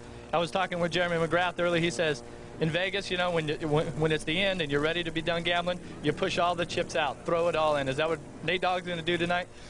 Yeah, you know, um, I'm definitely going to. I'm going to put it all out there, you know, and just, you know, let it ride and, and just put down 20 smooth, hard laps. I mean, that's what I did in Pontiac, and uh, it seemed to work out. And, and it's going to be a lot of people messing up here because it's slick, and the whoops are getting even more and more uh, treacherous, you know, as the night goes. So it's going to be the smartest guy to win. So I'm going to try to uh, put my head down and uh, think smart. Uh, what are you guys doing back here in the truck after the heat races and everything? Obviously, you're watching the video. You got any little tricks you like to lay down? You like, you know, like I was saying, like Ricky, he likes to eat cookies. What do you like yeah. to do? Yeah, well, you know, I'll catch those guys in here eating some Big Macs or something, you know. But I, you know, I'm too serious for all that stuff. Uh, you know, I come back. Maybe if, if I can ever make it out of the heat race, then I come back and lay down and have a little rest before time. But you know, come back, get something to eat, and, and just uh, watch the video and think, kind of go through the whole track in your in your head, and, and, and then just uh, try to get a good start when I get out there. All right, Nate Dogg, give me one of them good Nate Dog barks. All right, you guys. it doesn't sound like he's right ready without a bark. You know, the only ones getting into that main event, and you've seen so many times, the guys that are getting the better starts are coming from the inside. Campbell and Frenette getting the best choice of gates. And look where they lined up. Way over to the inside. You also got McCormick in there. Pavoni, number 48. 30-second board is still up when it goes sideways. They have 5 to 10 seconds, and the gate will drop. And this last chance qualifier to get into the 250 main event here in Las Vegas, Nevada. Final round of the Supercross season will be underway. Oh, 97 got boxed out of there. Pavoni made a nice run. Squirted through traffic right there. Came out in good shape. Got around all of this. These guys can forget the main event. See, one of the riders right there, a little fist pump, not because he's happy. They'll be watching the main. 97, Ryan Tulicki just getting up and, and going again. The bright orange back there in fourth. Pavoni, I'm kind of surprised to see him in this last chance qualifier. He usually makes it out of the semi. Isaiah Johnson, number 58, in the battle with number 75, and that's Ted Campbell, both on Suzuki's. Keep thinking he's McCormick. McCormick had that number. I think he did. He sure did. Done that before. Boy, was he a warrior. He's Sorry from uh, the northwest part of the country as well. Having knee surgery throughout this season. Ted Campbell right there in second place.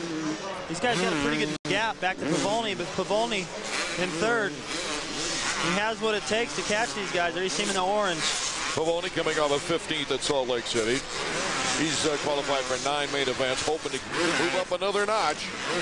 Best finish was a 13 in New Orleans, but right now it's Johnson and Campbell who look like uh, they're very determined to take this thing to another level. Campbell hasn't qualified for the last four weeks. Well, if he can hold Pavoni off, he's starting to inch up a little bit. In fact, both those riders, as I uh, check uh, my sheet, Isaiah Johnson failed to qualify in the last four. So there are two hungry Suzuki riders trying to get in this main event here in Las Vegas. It's great to have that Racer X gas card, a little bit extra money for the guy that is just the, the guy that misses it by one, but they don't want it. You know, for Campbell right now, he's going, off. why does Pavoni have to be catching me? The best thing he can do is try to get out there and challenge the leader, but he's got to be nervous with all the pressure from behind that would bump him out of the main. Racer X gas card reminds me David Coombs and his wife Shannon expecting their first. And that's why uh, he's not on the field trackside with us here today, but we wish our very best to them. They've been waiting and waiting and waiting. Yeah. Calling Davey. Any word yet? No. We've been driving on bumpy roads. We've been eating spicy food. And uh, still nothing really seemed to be working. Actually, our first child, my wife, went a little bit overdue. He didn't want to come out of there. 48's Pavoni. He's trying to pick up the action on number 58, Johnson. Campbell.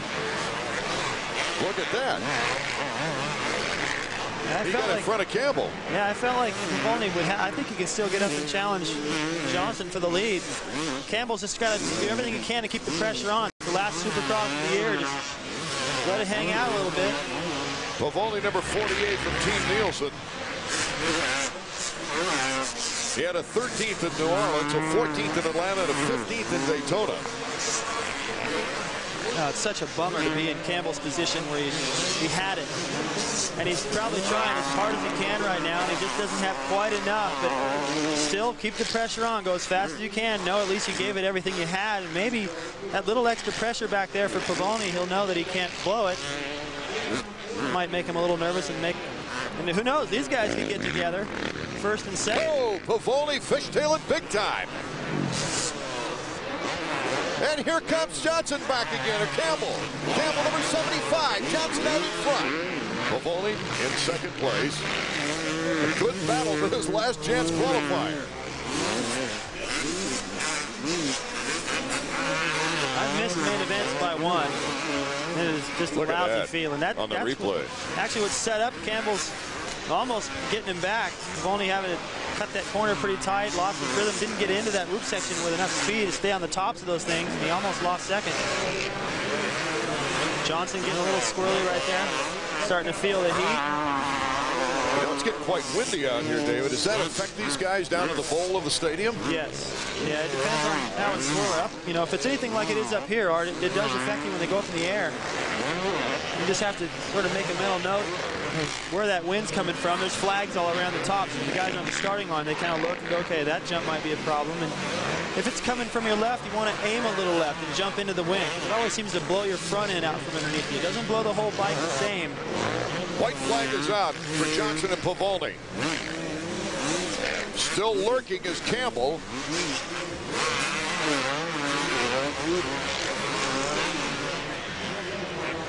Johnson doing a good job holding his own out front.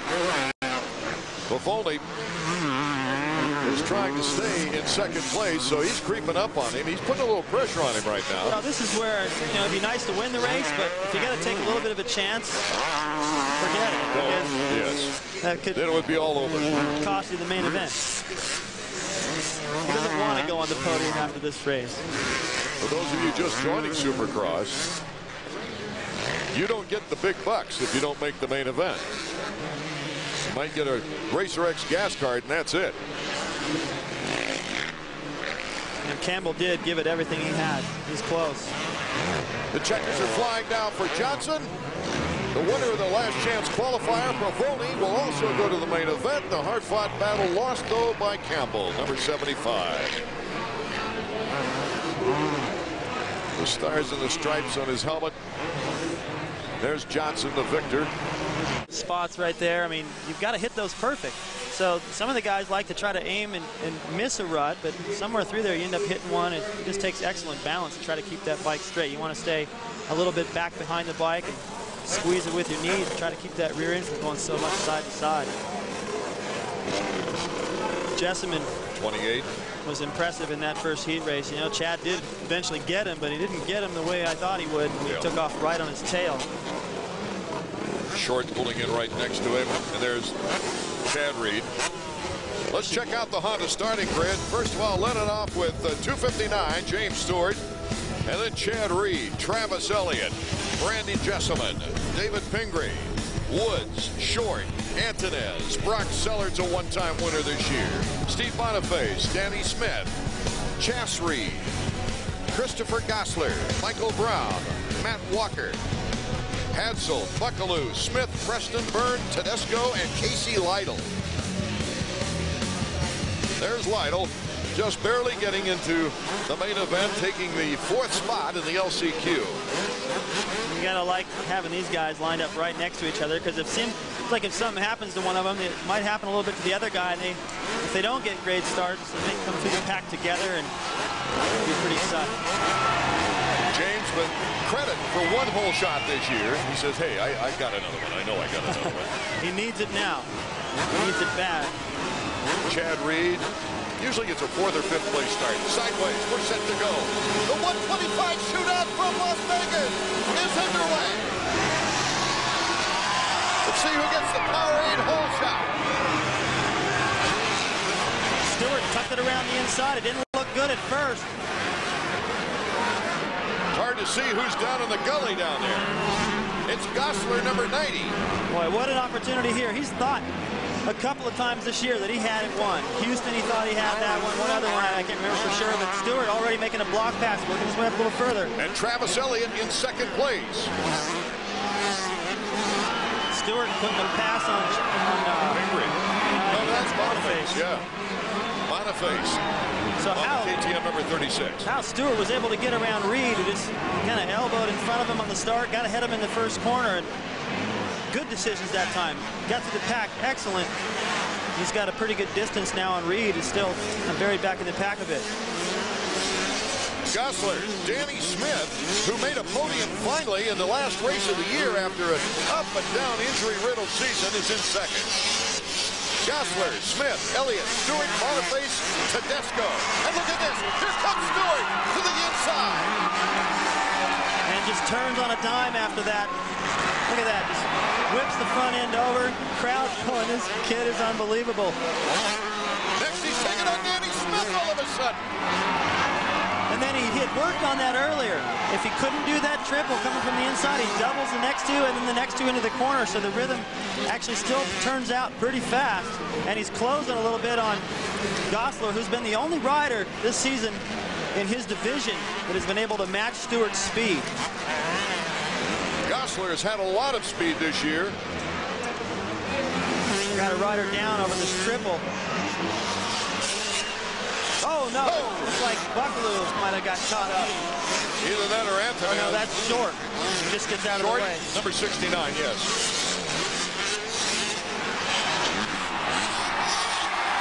The fans are on their seats. On the seat to James Stewart now. Takes Gosselaar. was down the rhythm section that nobody else has been able to jump. Now, this is the triple I was talking about. They had problems. That kind of caught the corner of my eye. And I got mixed up as where they were on the racetrack. Looked like it might have been a KTM rider down right there. But Stewart, unbelievable. And see how fast this kid is able to make up for a bad start. This is the rhythm section. Gosselaar's getting through there quick, but it's not the same as tripling into that corner, as you can see, and the crowd just getting their money's worth here, watching Stewart do what he does best, ride flawless and work his way up front. But got a long ways to go. He had a perfect race in his last race, as perfect as you can have at Salt Lake City. Now watch him the pressure was off. See, he'll stretch this lead out on Gosselaar, who's back there going, how the heck am I going to jump all that stuff now? Pretty hard to make up something that huge. It takes that much nerve get it figured out in the main event. You can see the difference now. Stewart pulling away. Let's see what happens through the whoops. This is Andrew Short getting to the back of Danny Smith there, looks like. Or, uh, I think that was Jesseman. Yeah. Preston Look, just like getting around him. But out in front, number 259, James Stewart. Went out tonight to prove himself the fastest, the best of the best, despite not taking the title.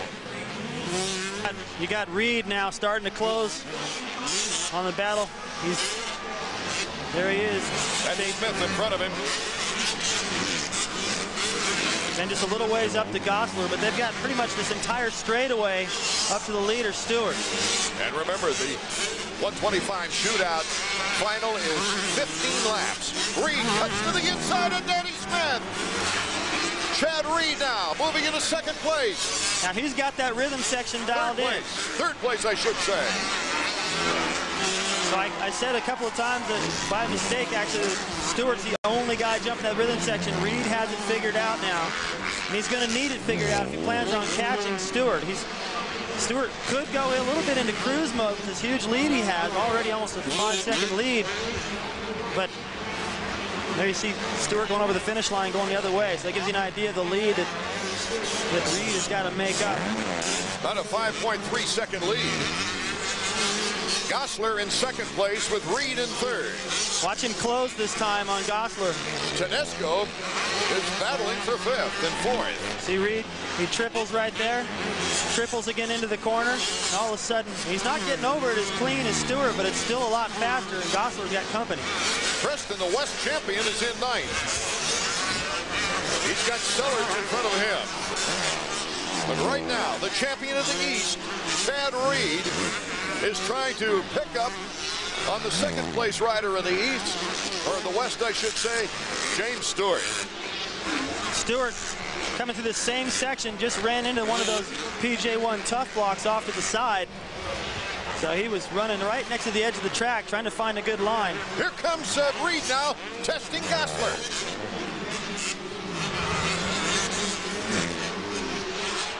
Reed trying to pick his spot. Doesn't want to wait too long. His spot's coming up right on the straightaway. He can't be following him though. And he couldn't do it.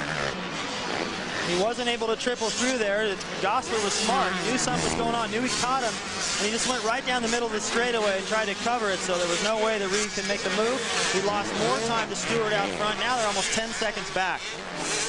So it almost takes another mistake by James Stewart if Chad Reed hopes to win the shootout. Stewart is Stewart when he's on. He's so fast, and he puts the pressure on everybody. And you can't even see him in the picture. He's already going the other way. Can you imagine how that feels for these guys that come out of a corner and they're like, where the heck is the leader? The, the important thing we've seen about James Stewart is that he's, he's a learner. He doesn't stand still. He, he keeps analyzing and, and comes back for more. There's Reed and back of Gosselaar. With Jeremy uh, Albrecht, Stewart's mechanic. Let's go to Jeff. Jeremy, you got to be happy with Bubba. Have you ever seen a more exciting rider? No, I mean, he's obviously real fun to watch, and he's doing a great job out there. He came here and he's learned every week, and he's doing exactly what we came here to do. So what was the game plan going into this? Uh, basically just to ride his own race and not worry about, you know, East Coast, West Coast, all that stuff, just trying to do the best he can for himself and, you know, just work on his technique and doing what he knows how to do. I see it on the pit board. You put you're bad. That's awesome. Yeah, he is bad. All right, back to you guys. He is. And uh, that's his former mechanic, Jeff Emig. Yeah. Jeff won the championship. In 97, right here. Wrapped it up, so. Here's the battle for second. Chad Reed in the timing section with Gosselaar on his tail. Now, you know, there was so many people talking about how, you know, Chad is so smart, he's crafty, and he doesn't make mistakes. And he got the start. He was ahead of Stewart at one point. But it was Stewart's intelligence and good choices, putting himself in the right place in that opening lap to get the gap on Chad in traffic and set this up right now. Chad may match Stewart's lap times out front from here on out. He may even be faster, but he's got to make up 12 seconds. I don't think there's enough time. Chad Reed, one win away from a perfect season in his rookie year racing in America. He started off with an impressive six wins, clinching the 125 East in St. Louis. And of course, all during the year, these races can be heard live on the webcast. ESPN.com, keyword is Supercross. The lead right now by Stewart. Chad's got to be going. I think it's Chad going the other way. I mean, uh, Stewart going the other way. Chad can see that. Chad Can't miss that pink outfit going by. No. Nope, you can't. He's, he knows that he's had the speed. Their lap times are similar, but that last lap, actually Chad's was a little bit faster by a tenth, but it's not going to be enough with the laps that remain. Steve Boniface walked off holding his shoulder. He's with Terry Boyd right now. Steve, I see you're holding your left shoulder. What seems to be the problem? Yeah, I crashed in uh, the beginning and uh, I I hurt a little bit my shoulder, but I hope it's not too bad. You just hoping to like maybe rest it tonight and get ready for the outdoors next week. Yeah, sure. Yeah, at this point, yeah, it just makes sense, Davey, for those guys to head back and get ready for next week when you're that far out. Boniface an early surprise in the 125 East, getting two podiums in the first three races. Moved into third place in the standings and then crashed early. Last place start at Pontiac came back to 18th and he finished out the season fifth in the standings. And how about this? Finish. Mike Brown is might be lapped by James Stewart. He's not going to like that. These guys square off next week for the first round of the outdoor series and to be getting lapped by a guy that he hopes to beat next week. Obviously, Mike's having some trouble. Stewart with tremendous focus going through those whoops. He's going through everywhere. It doesn't look like he's backed off much. He's knocked several tough blocks off the side of the racetrack since I've had my eyes on him. The Honda stopwatch showing the interval between Stewart and Reed on the last lap 11.5 seconds, this lap 10.3. He's got to step it up though with only about three and a half laps left in this race. Well, Reed's doing all he can do. He's trying to keep his pace going and continue to triple through the rhythm section, which he has been doing, so that if Stewart does make one of those mistakes, he'll be close enough to take advantage of it, but looks like Stewart's night. Watch him through these whoops coming up. Uh, There's Preston in seventh. Trying to chase down Matt Walker, who, I'll tell you what, coming up uh, another half lap. The whoop section, I thought they were coming to it right there. Uh, Walker went down in the first practice session this afternoon and just laid there thinking, I thought he might have broken his collarbone. And uh, I talked to Dr. John Bodner. He said he wouldn't be surprised if he broke a couple of ribs and he goes down again. Oh, that's got to hurt. He's holding it. Yeah, this is how it looked this afternoon. And I was about to say, what a gutsy performance to come back in. Bodner I talked to, he said he wouldn't be surprised, like I said, if he had a couple of broken ribs and he just takes another shot. That's Walker. A great breakthrough win this year. One of five different winners in the 125 West. Looks like he wants to get back on the bike. This kid is tough. Checking it out again. I couldn't hardly really tell what happened there. Preston, other than, Preston lucky to get around him. Yeah, actually. Preston just had good reaction time right there to stay clear of it. And here's the leader. Will it be his fourth win of the season? He didn't win a championship. But what a what a rookie season at 16 years old. And you know, you talked about how smart he is and he's a quick learner and all that, and and uh, he is. But some of those crashes and things that uh, you talked to his mechanic about not too long ago, he didn't really learn from that. He kept on making those same mistakes, and it surprised me a little bit because every time I talk to him, I'm so impressed with how far ahead his thinking is and his planning and how much he knows about his competitors and seems to know their strengths and weaknesses probably as good or better than they do. Did you see the roost of that camera? Yep. Everyone's going, man, that Kawasaki is fast. I don't know how it is sized up with everybody else's bike, but he makes it look fast, you know, because the way he rides with the power band. He's always in the right gear. Beginning of the season didn't go with the Pro Circuit Kawasaki support team, but went under the big rig of uh, Chevy trucks. The white flag is out. This is the final lap for James Stewart. Can he keep that tradition alive of a non-champion winning the shootout at the end of the season? Looks like he will. Ramsey's done it twice, Pastrana once, and they didn't win those years. This could be four in a row. He cools it a little bit. Decides I don't need to triple through this thing again. Even though his lead shrunk to eight seconds, he still feels like he's got this one in the bag. He just said, all right, I want to be the fastest of the fast, not the best of the best. Jeez. Whipping it on James Stewart. Crowd standing on their feet in honor of this young 16-year-old in his first Supercross season. This is the last kind of risky section. This loop section and the next one. If he gets through all this, he's got it. Stewart, Reed, Gosselaar, Tedesco, Danny Smith up to fifth. As we're on the final lap, Preston has moved into sixth. The checkers! And the 125 shootout victory for James Stewart. And Reed, he did a good job. He stayed, he rode hard all the way to the end, but he's not going to be happy with the way that first lap went. kind of laughing at the way James came over the finish line jumps. Like he had something in mind. Didn't really go as planned. He kind of held his hand up like, ah, well, whatever.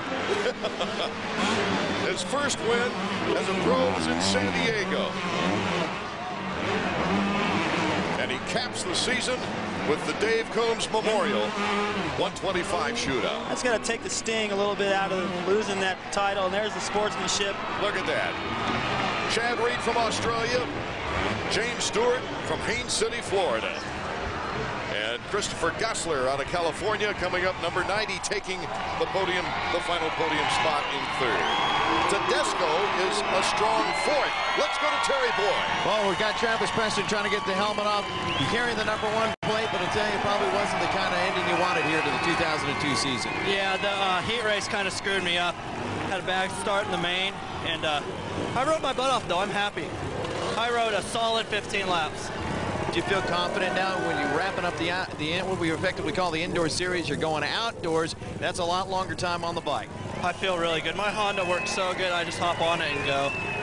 That makes it easy, doesn't it? Makes it real easy. Let me ask you this, Travis. The number one thing going through your mind out there, you know that you got the number one plate. Were you pushing harder, or like you said, you were just content? Um, that main event, I rode my butt off. I probably had the fastest lap times that I did all day. I came way through the pack. And I thought, I'm, I'm really happy with the way I rode. I mean, I didn't win, but... Best of luck to you on the outdoor, Travis. We got to go up to the stage with Jamie Little. All right, Las Vegas, they're making their way on over to the podium. Let's hear it for them. Lots of celebrating going on, lots of bragging rights to be had. James Stewart, all smiles, the first one walking down. Come on, Chris Gosselaar, get up here. Chad Reed, come on, you guys. All right, what the heck? You guys want me to talk to this guy, James Bubba Stewart? James, you're the first one up here, so you're going to be the first one I'm going to talk to. I got to tell you, you're not the man with the number one plate at the end of the series, but you just took home the bragging rights as the fastest 125 rider in the world. That's got to make you feel good. Yeah, um, I didn't get out to the greatest start, and I just kind of worked my way up through the laps, and uh, I triple triple past Gosselaar over there. He wasn't doing it the whole race, and uh, I'm so happy. James, I talked to you a couple weeks ago. You said the main thing, you know, you're working on patience. Your dad's telling you patience. We saw it last week. We saw it tonight. Patience paid off. You kept it on two wheels the entire race. Yeah, definitely. I mean, the track was kind of slick out there, and I had to keep it going. I mean, you couldn't charge the corners real hard like I wanted to, but uh, I was out front the whole time. Did you get a little bit more nervous tonight knowing that you were going up against Travis Preston, Chad Reed? Yeah, definitely. I mean, Chad Reed is one of the, the best race girls riders, best 125 riders. And uh, I wish we kind of got up there and did battle, but I just happened to get out front, and it was good. And you took it home. Congratulations. The crowd was behind you. You guys put in a great race for us tonight. Thanks a lot. Thanks. Uh, first, I'd like to thank all the fans out Las Vegas. Thanks. Hey, Tony Haynes, if you're listening out there, hey, this one's for you. All right, thanks, James. All right, we got the other boys up here. Chris Gosselaar, come on over here. Let's hear it for this guy's second third place finish. He takes home his second $1,000 Powerade hole shot. Chris, you started off the season first round third place. You ended third place. Not bad. Yeah, I had a, a great year this year. I mean, I learned a lot, and uh, hopefully I carry it into next year and just win that championship. I mean, I fought hard that race, and I got a little bit winded, but I still hung in there. Bubba rode a great race. Chad Reed rode, rode a good race. And uh, I just want to thank all you fans for coming out here. I mean, we can totally hear you guys cheering out there. Uh, without you guys, this wouldn't be possible. So thanks a lot. And I'd like to thank uh, Amsoil, Doc Martens, Competition Accessories, uh, Scott Goggles, uh, my mechanic, girlfriend, everybody who came out here and helped me, my mom and dad, and just everybody, thanks a lot. All right, Chris Gosselaar, it's always a pleasure. Congratulations. Thank you. All right, let's talk to this guy, the only number one plate up here on the podium, Mr. Chad Reed. Chad, what a race. I know it wasn't exactly what you wanted right off the bat, but you had to work for it and you ended up second. Yeah, you know, seconds, uh, not what we wanted, but, uh, you know, James rode a great race. He had a good start and uh, cleared out early, and uh, I want to congratulate him on a great race. And, you know, this was a lot of fun. I enjoyed this race a lot, and, uh, you know, I'm looking forward to the outdoors. Sure, I wanted to win, but you can't win them all, and I want to congratulate him once again, and, uh, and also the crowd for, uh, you know, cheering us on. Chad, this is the first time that you went up against James. Did it surprise you how fast this kid is? You know, I've been watching him all year, just like everybody else has, and you know, he's young and uh, he's definitely fast, and he's got definitely a good future. And uh, but uh, you know, tonight I just want to thank uh, Yamaha and Yamaha Troy for a great bike, and you know, Parts Unlimited, Thor, AST, Smith Goggles, uh, my girlfriend Ellie for her support, and the rest of the team. Uh, that's about it. Chad, you came out here this year, tremendous 125 series. Already you're leaving us. You're going to the 250 class next year. We wish you all the success in the world. Yeah, thanks, Jamie. I just want to once again give us a huge thanks to uh, Vegas. I've enjoyed my stay here and uh, can't wait to come back next year. All right, we'll see Chad Reed. You guys, congratulations to all of our champions. This is the Suzuki results page for the 125 shootout for the season of 2002. Stewart puts his name into history. Reed and Gosselaar on the podium. Tedesco, Danny Smith a good ride. Look at Michael Byrne in seventh place in front of Sellards and Jesseman and Woods.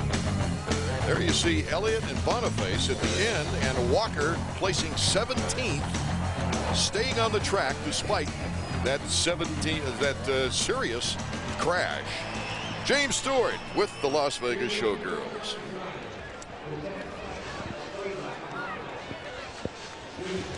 Taking a look at Stewart crossing the finish line. I don't know what they call that thing. but he won. That's the main, that's what matters. That's got to give him tremendous confidence going into next weekend to start his first race outdoors, 125 Nationals. The Champ- champagne flows on the podium. While those guys spray everybody down, the 250s are starting to take their parade lap. All, all three of them too young to drink it. Let's go to Terry downstairs. We're standing with James Stewart Sr. Time to start up the chainsaw, my friend. Mowing them down. Now, I got to tell you, as a father of five, I know my kids are at home watching right now. That's not an easy job being a dad. I can't imagine how tough it is to have a superstar like your son also to be a dad, too. Yes, it's real tough out there, you know. All I can tell you as a parent is just stick with your kid and trust in him, you know. He's it, it, it'll go a long way with you. Let me ask you this, man. With a kid as much talent as James Jr. has, do you give him any advice from time to time?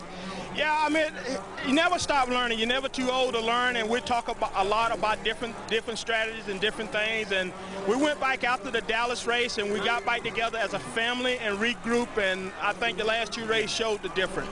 How do you feel about this guy now when he comes back as a 17-year-old KG veteran?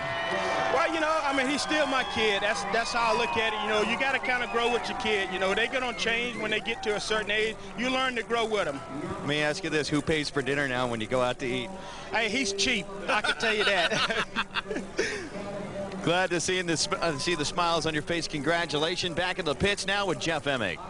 All right, you guys, I'm here with Michael Byrne. We only seen a glimpse of him, of him at the very first East Coast race, then he got hurt. So now you come back for the East-West Shootout, finishes seventh. Yeah, it was, wasn't too bad. You know, I'm pretty happy with how I finished. Uh, I fell off in the in the heat race trying to, you know, go for third to pass two guys on that triple down the back straight and uh, come up a little short and went down and then the throttle was stuck open and I couldn't finish. So uh, went to the last chance and then, uh, you know, I had a really bad pick of the grid and just just try to do my best and work my way through. You know, I, I haven't ridden Supercross in 12 weeks, so I'm pretty happy. How does it feel to race again? It's got to be exciting. Yeah, it's definitely a buzz. You know, I whole shot the, you know, the last chance qualifier, and like the adrenaline just started running again, and uh, that's something that I've, you know, I've been missing out on, like I said, for the last three months. So I'm really happy to be back. All right, well, Michael Byrne, you guys will see him next year. Back to you guys. Parade lap for the 250s underway. There's Jeremy McGrath on the Yamaha. And Ricky Carmichael surveying the course. And uh, David, I know you had a comment on the Stewart situation. Well, I just, you know, it's been a learning experience for James, but but I really think that, you know, especially what we saw with, with James's father walking out of the stadium there in Dallas. Now that I'm a father, I, I get a little bit wound up. If my son doesn't jump a double, I know he can, and, and it's got to be hard. But I think it's a learning experience for Big James as well. And I'm glad they had to kind of go through this this, uh, this harsh learning curve of what happened to him in Dallas to lose that championship the way he did. But but uh, you know they stick with it, and they got a good thing going over there, and seem to all be having a lot of fun. In talking with James earlier, he was uh, telling me that he's really glad that uh, those diverse circumstances happen like they did so early because it did lead to better communication for the family as a whole. Just about set now for the starting situation now for the 250s. The starting grid as Jeremy McGrath gets set on the gate. Let's take a look. Ricky Carmichael, Jeremy McGrath, Ezra Lusk looking good here in Las Vegas. Ernesto Fonseca, Stefan Roncada, Kyle Lewis. He got a great start in qualifying. Sebastian Tortelli, David Vuillemin, who ended up the season second in points. Nathan Ramsey, a winner this year. Nicholas Wey, he's on his way to top privateer. Michael Young, Isaiah Johnson, James Pavone, and the rest of the group with the 250s. Let's listen in if uh, Skip will tell us anything. Saying hammer on these guys. I'll bet you he'll say something about it. It's 18 minutes. That's it. Don't leave anything out there on the track. Now he's got to step away. Now the 30-second board has been up for a bit. Jeremy knows how important the start is. He's Waiting for that 30-second board to go sideways. There's some of the fans, Jeremy McGrath fans here in Vegas. It's sideways. Five to 10 seconds. And the final race of the 2002 Supercross season will be underway. The Powerade hole shot. Who will get it? Looked like Kyle Lewis again. It looked like Kyle Lewis again. That would be his second. But Carmichael, I believe, tripled his way up front. Number two. Number 21 is Ron Roncada. There's Carmichael in the lead with Lewis in second place. Lewis number 23. Carmichael number four. Jeremy got shuffled mid-pack somewhere. Not coming out of that first straightaway looking good. Carmichael out front, who was a second faster than Jeremy at one point in his heat race. Take another look at the start. Jeremy over there to the left kind of gets pinched off. Lewis coming in from the outside of the orange helmet, but Ricky had the line down the next straightaway. Jeremy getting bumped around right there. Did not come out good. From the helmet cam now, David. Keith Johnson right there getting closed off right away, coming from the outside. Tortelli right there, 13. Vuillemin and Roncada getting into it. Everybody trying to tuck around the inside. You see Lusk right there, just ahead. He's in third. He's in third. It's Carmichael, Lewis, Lusk, Fonseca, Vuillemin, Waugh, Ramsey, Roncada, Lange, McGrath is in 10. But a long 20-lap race for these 250s. Here comes Ezra Lusk. He hippity hops by Lewis, number 23. Now Lusk had some speed in practice. He got a couple of good lap times in there, chasing down Carmichael in practice. The way he's been riding lately, he's got he, he's going to need just a little bit more, I think, to get around Ricky, especially with Ricky out front like this. But he's been getting closer and closer to a win. This is his last chance. Kyle Lewis, incidentally, with a good chance for third place in the top privateers trophy. That would uh, garner him about $10,000. Of course, all the races are heard live on the webcast. ESPN.com, keyword Supercross. Lusk tripling his way down. Hey, can't do that one into the corner, and Carmichael just did, so loading up that gap. So, Fonseca in a pretty good position here. There's Vuillemin, number 12. Fonseca, number 24. How about Kyle Lewis tonight? Man, what got into the, the start, I know makes a big difference, but, you know, we've seen him get a start before and get shuffled back pretty quick. Here, he's riding excellent. Of course, he got stuck in the mud in Salt Lake City with an accident. This is the final race of the Vans Triple Crown as well, which can the, the, the big uh, the big prize can't be won because one rider has to win all three races throughout the season, but the twenty-five thousand dollars still in stake. And it looks like Ricky will get that. He can hold on where he is. Pretty much whoever finishes in front of the other guy, Vuillemin or Carmichael. Next to 25 grand. Not even very much money for these guys anymore. really. When you figure that Chad Reed has only been a rookie in the 125s, and he's got a multi-million dollar contract starting next year. So I'm going to go ahead and say that I think the four-stroke has a little bit of an advantage here. These guys are not just all over Lewis. You know, Lewis is holding his own here pretty good. And he is on the Honda four-stroke. So that thing hooks up pretty good in places. And I think it works really good in the whoops. You're getting a little bit of wheel spin across the tops of those things. Hard to stay on the top. Here comes Ramsey behind this group. 25. Ramsey 25. Vuillemin testing Lewis. They come over the finish line jump. Vuillemin comes out on top. He's got Lusk in front of him. It's Carmichael Lusk, Vuillemin and Lewis with Fonseca and Ramsey knocking at the door. Carmichael just going the other way off the triple, turned to 54.2, Lusk 54.9, which was Lusk's fastest lap so far. Still not fast enough. That's Vuillemin number 12. Three wins, 12 podiums in 14 races with uh, fourth places in the other two. Very impressive until you consider what might have been. Injured before Daytona, couldn't race, lost the points lead to Ricky, and Ricky never looked back. Number 24, that's Fonseca. Number 23 is Kyle Lewis. Number 25, Nathan Ramsey. Lewis really starting to feel the heat now. This is what happens to him a little bit sooner, but he did a good job to hang up there up front a lot longer. Top five, still a possibility. There is much an added attitude change. There's uh, Ramsey now coming in front of Lewis. With the uh, altitude here, as far as jetting in 250s, there is quite a bit of difference in the 125. It's just the, the dry weather. It changes it just a little bit, but these guys making a lot more horsepower than they were last week in Salt Lake at 5,000 feet. McGrath has caught this freight train battle pretty far back. You can see right behind Roncada right now. So it's Carmichael, Lusk. Watch Tortelli. And Tortelli and Huffman connecting. He's just standing there like, well, I can't pick my bike up until Huffman gets off of me. Not a nice way to end the Supercross season, especially after finishing third last week. McGrath trying to take on, uh, that's uh, 21, Roncada. The last lap, Roncada's teammate Lusk carved a little bit of time out, out of uh, Carmichael's lead. Now Ron on this section. Skip Norfolk on the team radio. He's wearing goggles right now because the wind has picked up and started to blow the dust around quite a bit. There's no way in the world Jeremy can win this thing from where he sits right now, but podium, I suppose, is still up for grabs. 55-8, MC, 55-8. That's 54-4, RC, 54-4. RC out front. 13.3. turning to 54-1. McGrath not quite up to that pace.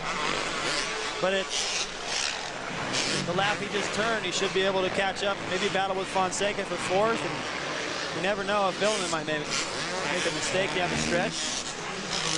He'd like to stand on the podium at his last race, but he's going to have to really hump it to get there. He's been on the podium three times this year, and that, of course, kept the string alive, going at least three podiums every year for 10 consecutive seasons. right now, just, I can't help but think about the battle he had with Carmichael last year. How hard those guys were riding. And right now, just because of that start, he's 20 seconds down on Carmichael at the moment. Let's go trackside and Terry Boyd. Terry. Well, another injury for Sebastian Tortelli. The thumb looks a little hamburgered out. It's uh, that seems to be your Supercross regimen, always overcoming injuries. Yeah, it's been, you know, it's always hard, and I just, you know, just crash and ring my bell a little bit. So I just, you know, it's last race. I just prefer pull off and, you know, get ready for next championship. You know, finger is not bad. It just, you know, cut a little bit. So, you know, be good for next weekend. Well, that's the best and smart thing for you to do to pull off the truck. Guys, like you said, he got his bell rung a little bit. The thumb's a little bit banged up. He wants to save it for next week at Glen Helen. Carmichael with a five-second lead on the last lap on Ezra Lusk. On board with Keith Johnson. Over the finish line jump.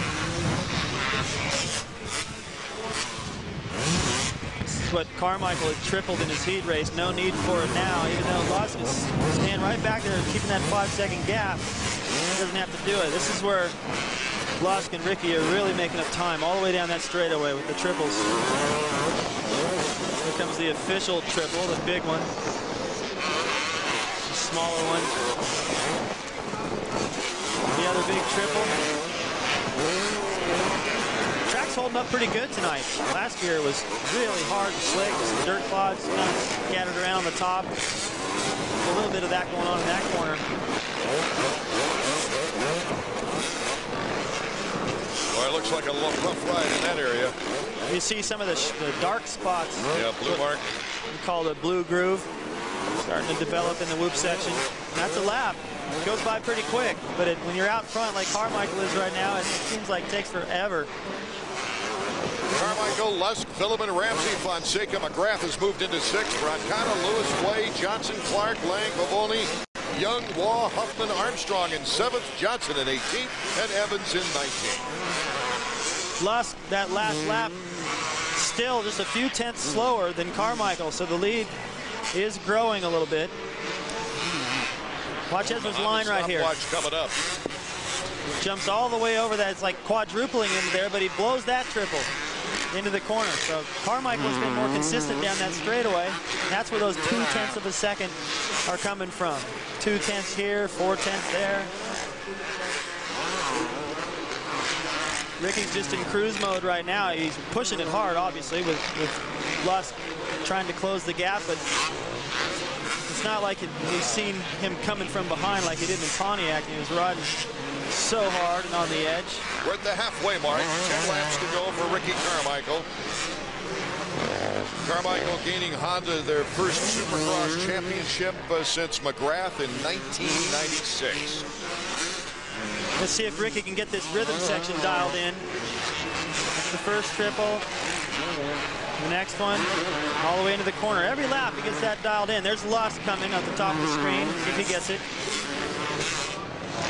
Looked like he got it all the way into the corner. But Carmichael's got this whole next, next straightaway on Lusk. And so when you lose the guy, you lose him in your sights, it's hard to really stay motivated like, yeah, I think I can catch him.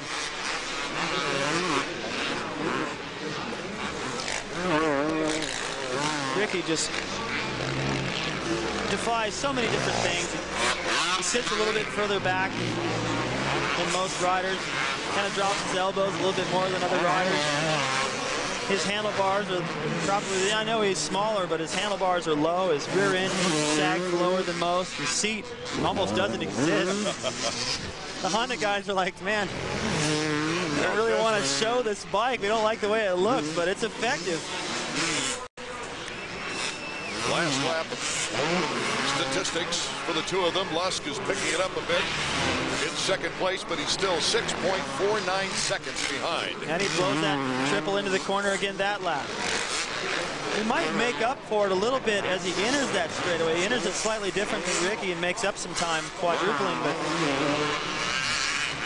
overall lap, he keeps losing time. That Actually, that last lap, he made up, he got four tenths back. Carmichael looking for his 11th win on the season. His 26th career victory. It'd be 25 in two straight years.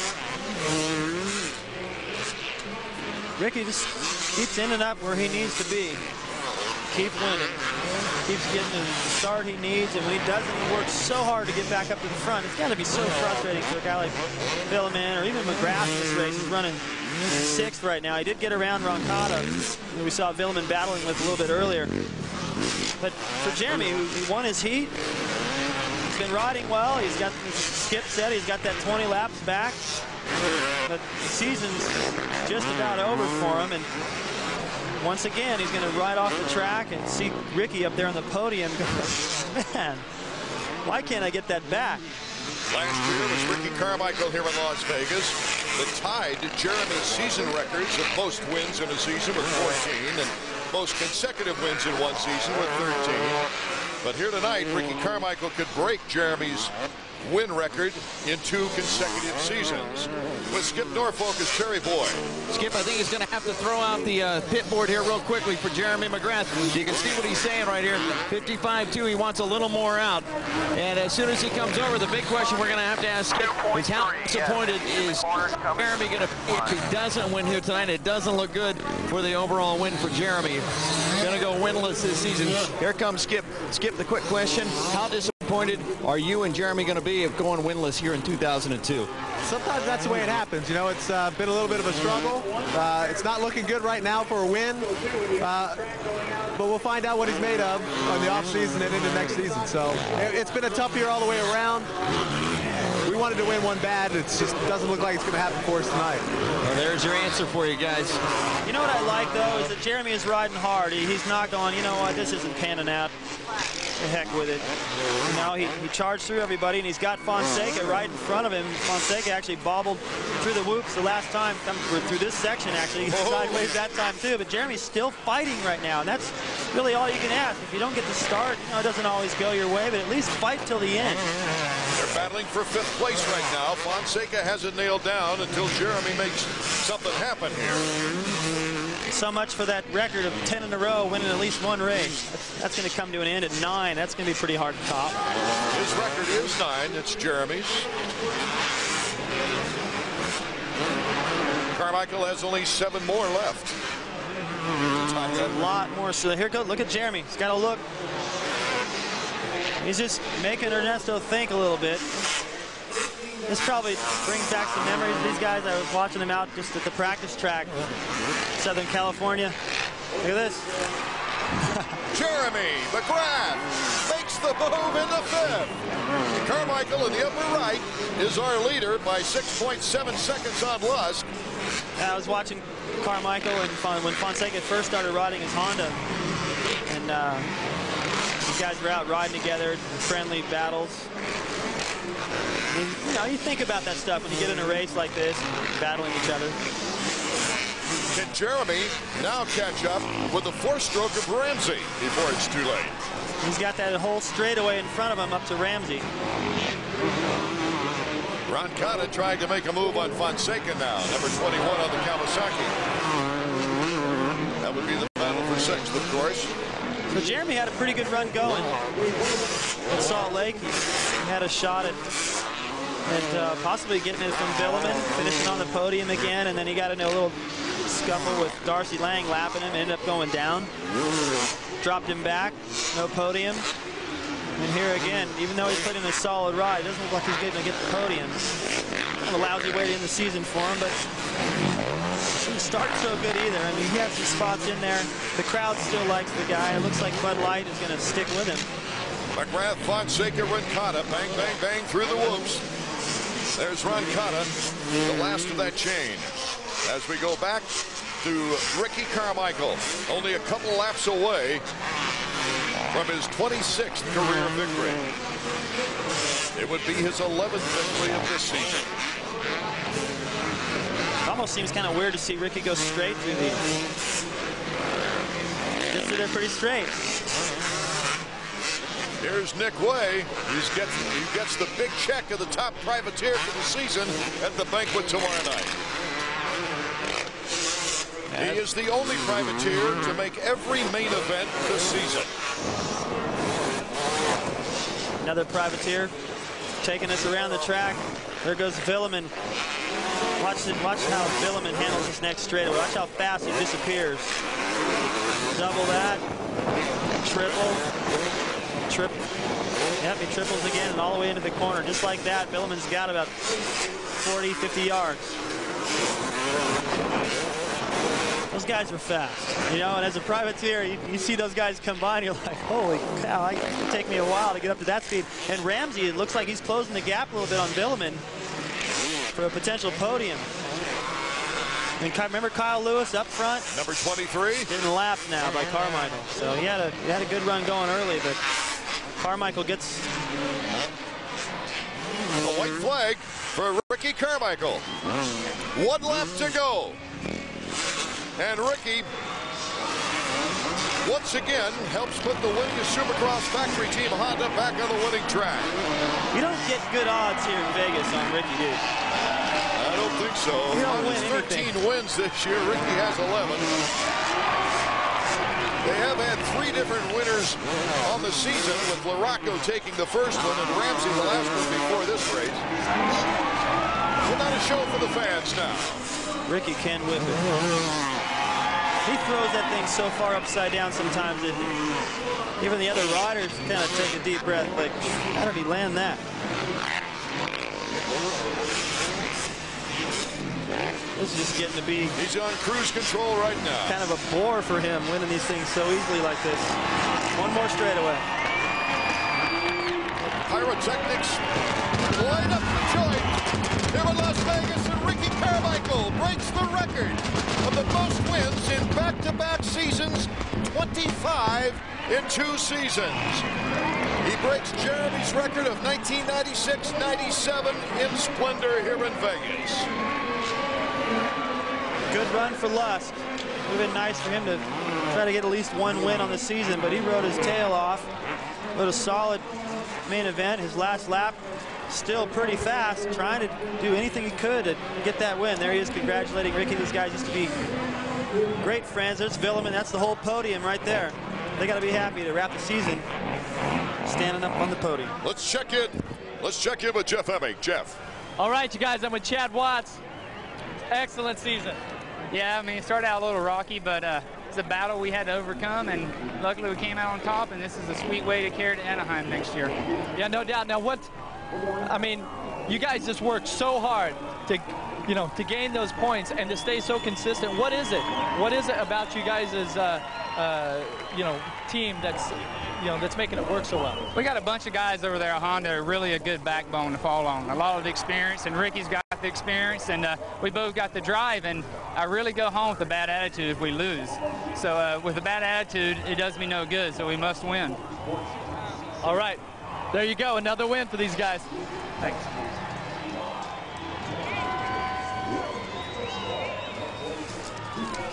Ezra Lusk also getting his best uh, appearance of the uh, season. Let's go to Terry.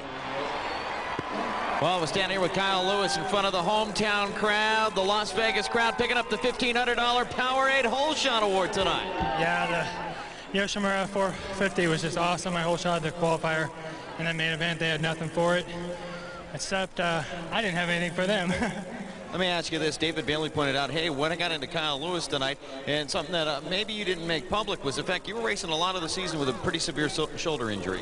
Yeah, I uh, got off at the beginning of the year around 95 miles an hour going down a hill. I hit a rock, and it's bit me off three weeks before the first round.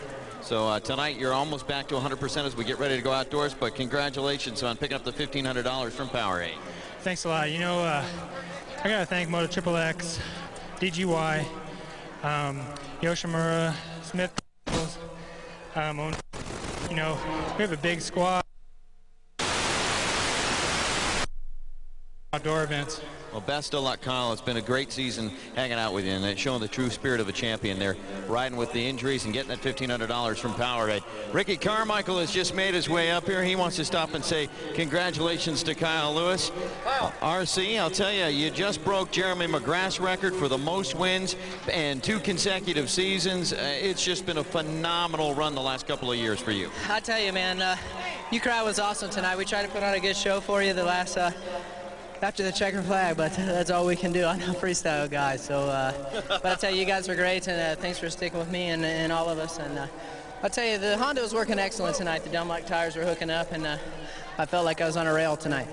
Let me ask you this. Let's go back to the very first race, Anaheim. Found yourself on the ground. Did you ever think at that point you were going to be able to get to where you are this year?